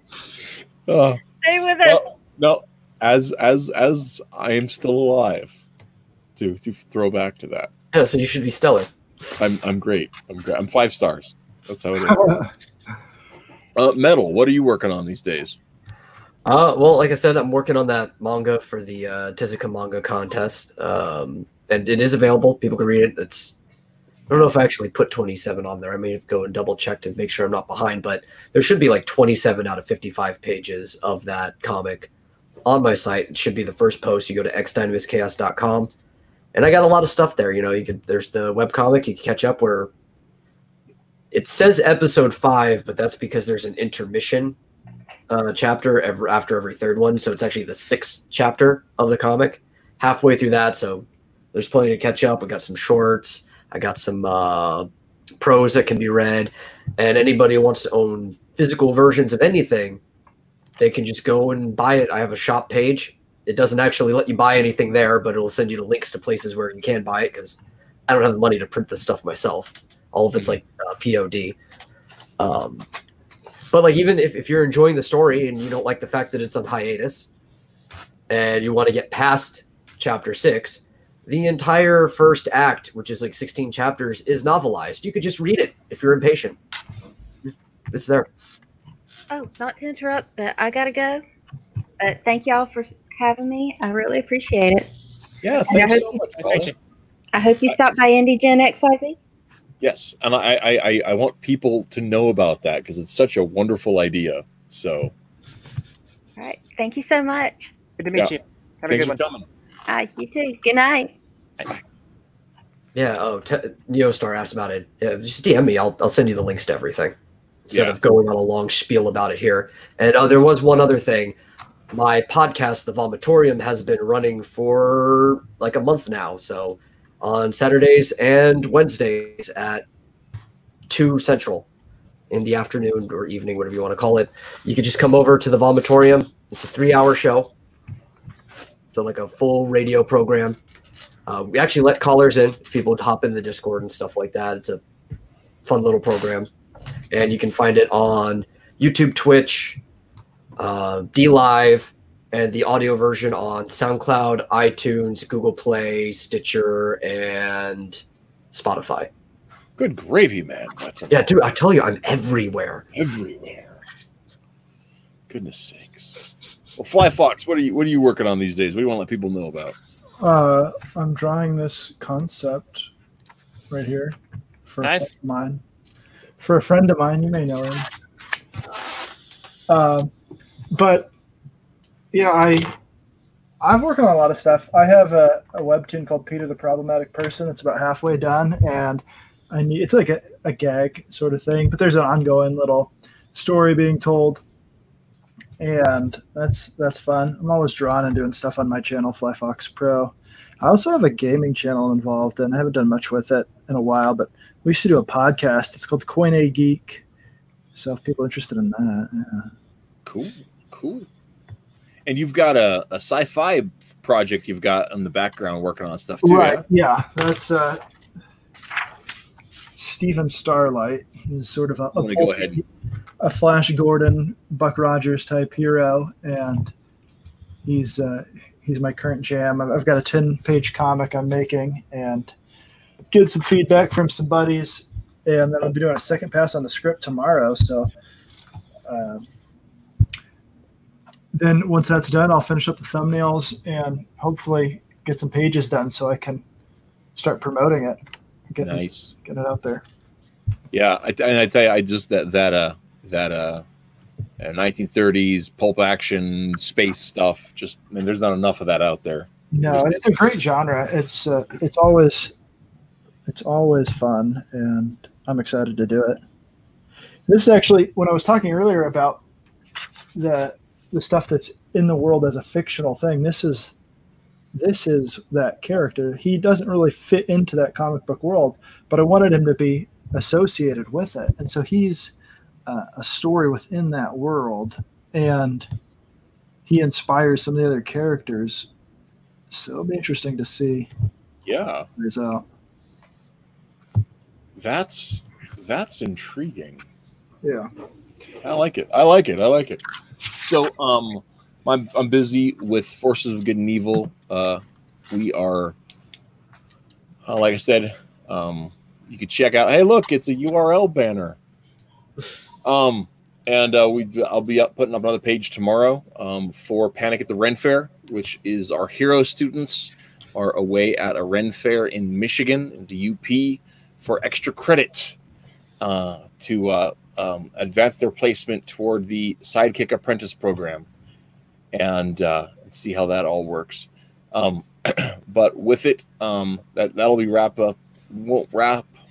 We will wrap up that story by the end of the summer, um, and uh, then forces will go on hold for a little while while I'm working on some other projects, uh, including I've been to Hell, which is story of a it's it's a spin-off of forces where chad the hero greg the villain and their friend demon priest go to visit demon priest's family in hell for spring break. And uh, uh, it's a it's a it's a, a, a horror adventure comedy kind of a thing Surprisingly, it's one of my top three destinations for spring break. yeah you would be surprised. Um and uh, that's actually a real fun story. I'm super uh in fact the pencils are already in on that. Um that's one i was talking about. My anchor has homework to do. Um and uh so that'll be hopefully we'll get that um i was hoping to have that all done this summer but it's probably looking to be um january um on that one. And we're gonna um gonna be spreading that around once we get some some stuff on that. So i'm really stoked for it. Um, uh, and of course, for those of you who are watching, if you want to uh, support us, speed the process along a little, or see um, pages as they're being done, you can check us out on Patreon, um, Patreon front slash ideal underscore comics, and uh, you know buy into the dream. Um, and we'll have some other stuff that we'll be we'll be talking about um, coming up here too. Um, also, for those of you who are backers of um, Expositioner, um, Sola Voce, um, the book we ran last summer, um, we will be having more updates in the next two weeks. We'll know news one way or another. Well, I can't even talk about it yet, man. It's all in the air. So- but um, stuff is happening. I will say that much. Um, but yeah, so that's where things are at at the minute. Um, but yeah, it's after nine. We've been on for two hours. I want to thank all of my guests, um, Metal, uh, Twitless, Fly Fox Pro, um, Paula, and um, Cody who left. Um, this has been a fun conversation, and yeah, thanks for having us. and it's not just an excuse to talk about my universe, although mine is better than yours. So, um, thank you for tuning in. Next week's topic is Were Comics Always Blank? And um, it was partly suggested by one of our one of our, our viewers, um, uh, some of our semi-regulars uh, who asked me, Were comics always a, a mean girls club? And um, we're going to be addressing that and other topics. Um, I'm not sure who our panel is going to be yet. I'm sure Um, the answer is more nuanced than people expect. Yeah, but I, I do uh, I expect Doug Ernst to possibly be one of the guests. Um, but we'll see how that pans out. Um, but yeah, so we're comics always blank, and then we will find out all kinds of things about that next week. Um, but thanks for tuning in, and uh, have a great week. And uh, check, keep loving comics, people. That's that's what this show is really all about. Yep. Later, guys.